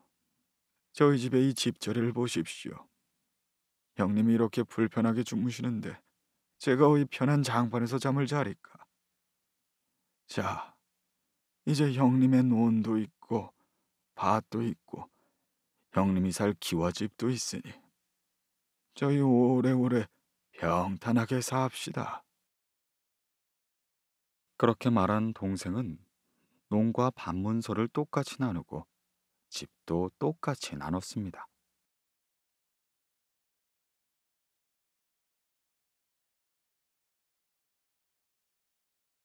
멀리 가는 향기 옛날 향원정이라는 정자가 하나 있었습니다. 마음이 청정한 사람이면 누구든 이곳에서 아름다운 향기를 대할 수 있다는 그런 말이 전해져 오는 정자였죠. 어느 날 어진 임금께서 길을 가다 이 정자에서 쉬게 되었습니다. 이때 미풍에 얹혀 슬쩍 지나가는 향기가 있었죠. 참으로 기가 막힌 향기였습니다. 이에 임금은 수행 신하들을 불러서 부근에 피어 있는 여러 꽃을 꺾어 오도록 행했습니다. 신하들은 뿔뿔이 흩어져서 향기가 좋기로 소문난 꽃들을 한 가지씩 가지고 왔습니다. 모란, 난초, 양귀비. 그러나 임금은 꽃을 하나하나 코에 대보고는 고개를 젓고야 말았습니다. 임금은 궁으로 돌아가서 향 감별사를 불렀습니다. 그리고 그에게 이렇게 말했죠. 내가 향원정이라고 하는 정자에서 일찍이 대본 적 없는 아름다운 향기를 맡았었다. 경은 지금 곧 그곳으로 가서는 그 향기가 어디에 어느 꽃의 것인지를 알아오도록 하여라. 향 감별사는 그날부로 향원정에 가서 머물게 되었습니다. 날마다 코를 세우고 임금을 황홀케 했다는 그 향기를 기다리며 말이죠. 그러나 그 향기는 좀처럼 나타나지 않았습니다. 간혹 바람결에 묻어오는 향기가 있기는 했지만 그것은 향 감별사가 아니더라도 쉽게 알아맞힐 수 있는 향기였습니다. 그렇게 여름이 지난 뒤향 감별사는 실망함에 일어날 수밖에 없었습니다. 그는 시름 없이 기둥에 머리를 기대고는 먼 지평선을 바라보았죠. 저막 끝에 풍경처럼 세상 만사를 놓아버리고 떠나가는 흰 구름이 보였습니다. 그 순간이었습니다. 코를 스치는 향기가 나왔죠. 향 감별사로서는 평생 처음 대해보는 아름다운 향기였습니다. 아이고, 이 향기구나. 이 향기가 임금님을 황홀케 한 것이야. 향 감별사는 서둘러 바람이 불어오는 선역을 향해 걸어갔습니다. 들판을 지나 산자락을 헤매갔습니다. 강나루도 돌아 마을을 뒤지고 다녔습니다. 그러나 좀채 그 향기를 가진 꽃은 찾을 수가 없었습니다. 그렇게 하루, 이틀, 사흘째 해가 저문 저녁 때가 되었습니다. 꽃을 찾아내지 못한 향 감별사는 힘없이 향정원으로 돌아왔죠. 그렇게 뒷기울에 몸을 씻고 정자에 앉았습니다. 솔바람이 지나가자 이내 둥근 달이 떠올랐습니다. 저만큼 떨어져 있는 바위로부터 도랑거리는 새소리도 들려왔죠. 아이고, 저 작은 새는 이 고요한 달밤에 누구와 얘기하고 있는 건가? 새가 바라보고 있는 곳으로 고개를 돌린 향 감별사의 눈에 풀 한 포기가 비쳤습니다. 그것은 이제껏 헛보고 지냈던 바위 틈에 있었던 것이었죠. 향 감별사는 자리에서 일어났습니다. 달빛 속을 걸어 바위에 가까이서 보니 풀은 조금씩 더 잘 보이기 시작했습니다. 그리고 그때였죠. 먼 하늘 깊은 곳에 있는 별빛인지 가늘고 맑은 바람이 한 줄기 흘러오는 것입니다. 그리고 그러자 풀섭 사이에서 작은 꽃이 갸우뚱 고개를 내미는 것이 아닙니까? 바로 그 황홀한 향기와 함께 말이죠. 입고 향 감별서는 임금 앞에 돌아서 아래기 시작합니다. 그 향기는 화관이 크고 아름다운 꽃들의 것이 아니었습니다. 그리고 또 멀고 귀한 곳에 있는 것도 아니었지요. 어떠한 역경 속에서도 굳게 살고 자기 빛을 잃지 않은 작은 불꽃이 지니고 있었던 것입니다. 다만 그 향기는 보는 이의 마음이 정정할 때만이 제대로 깃들 수 있기 때문에 좀추로 만나기 어려울 뿐이었습니다.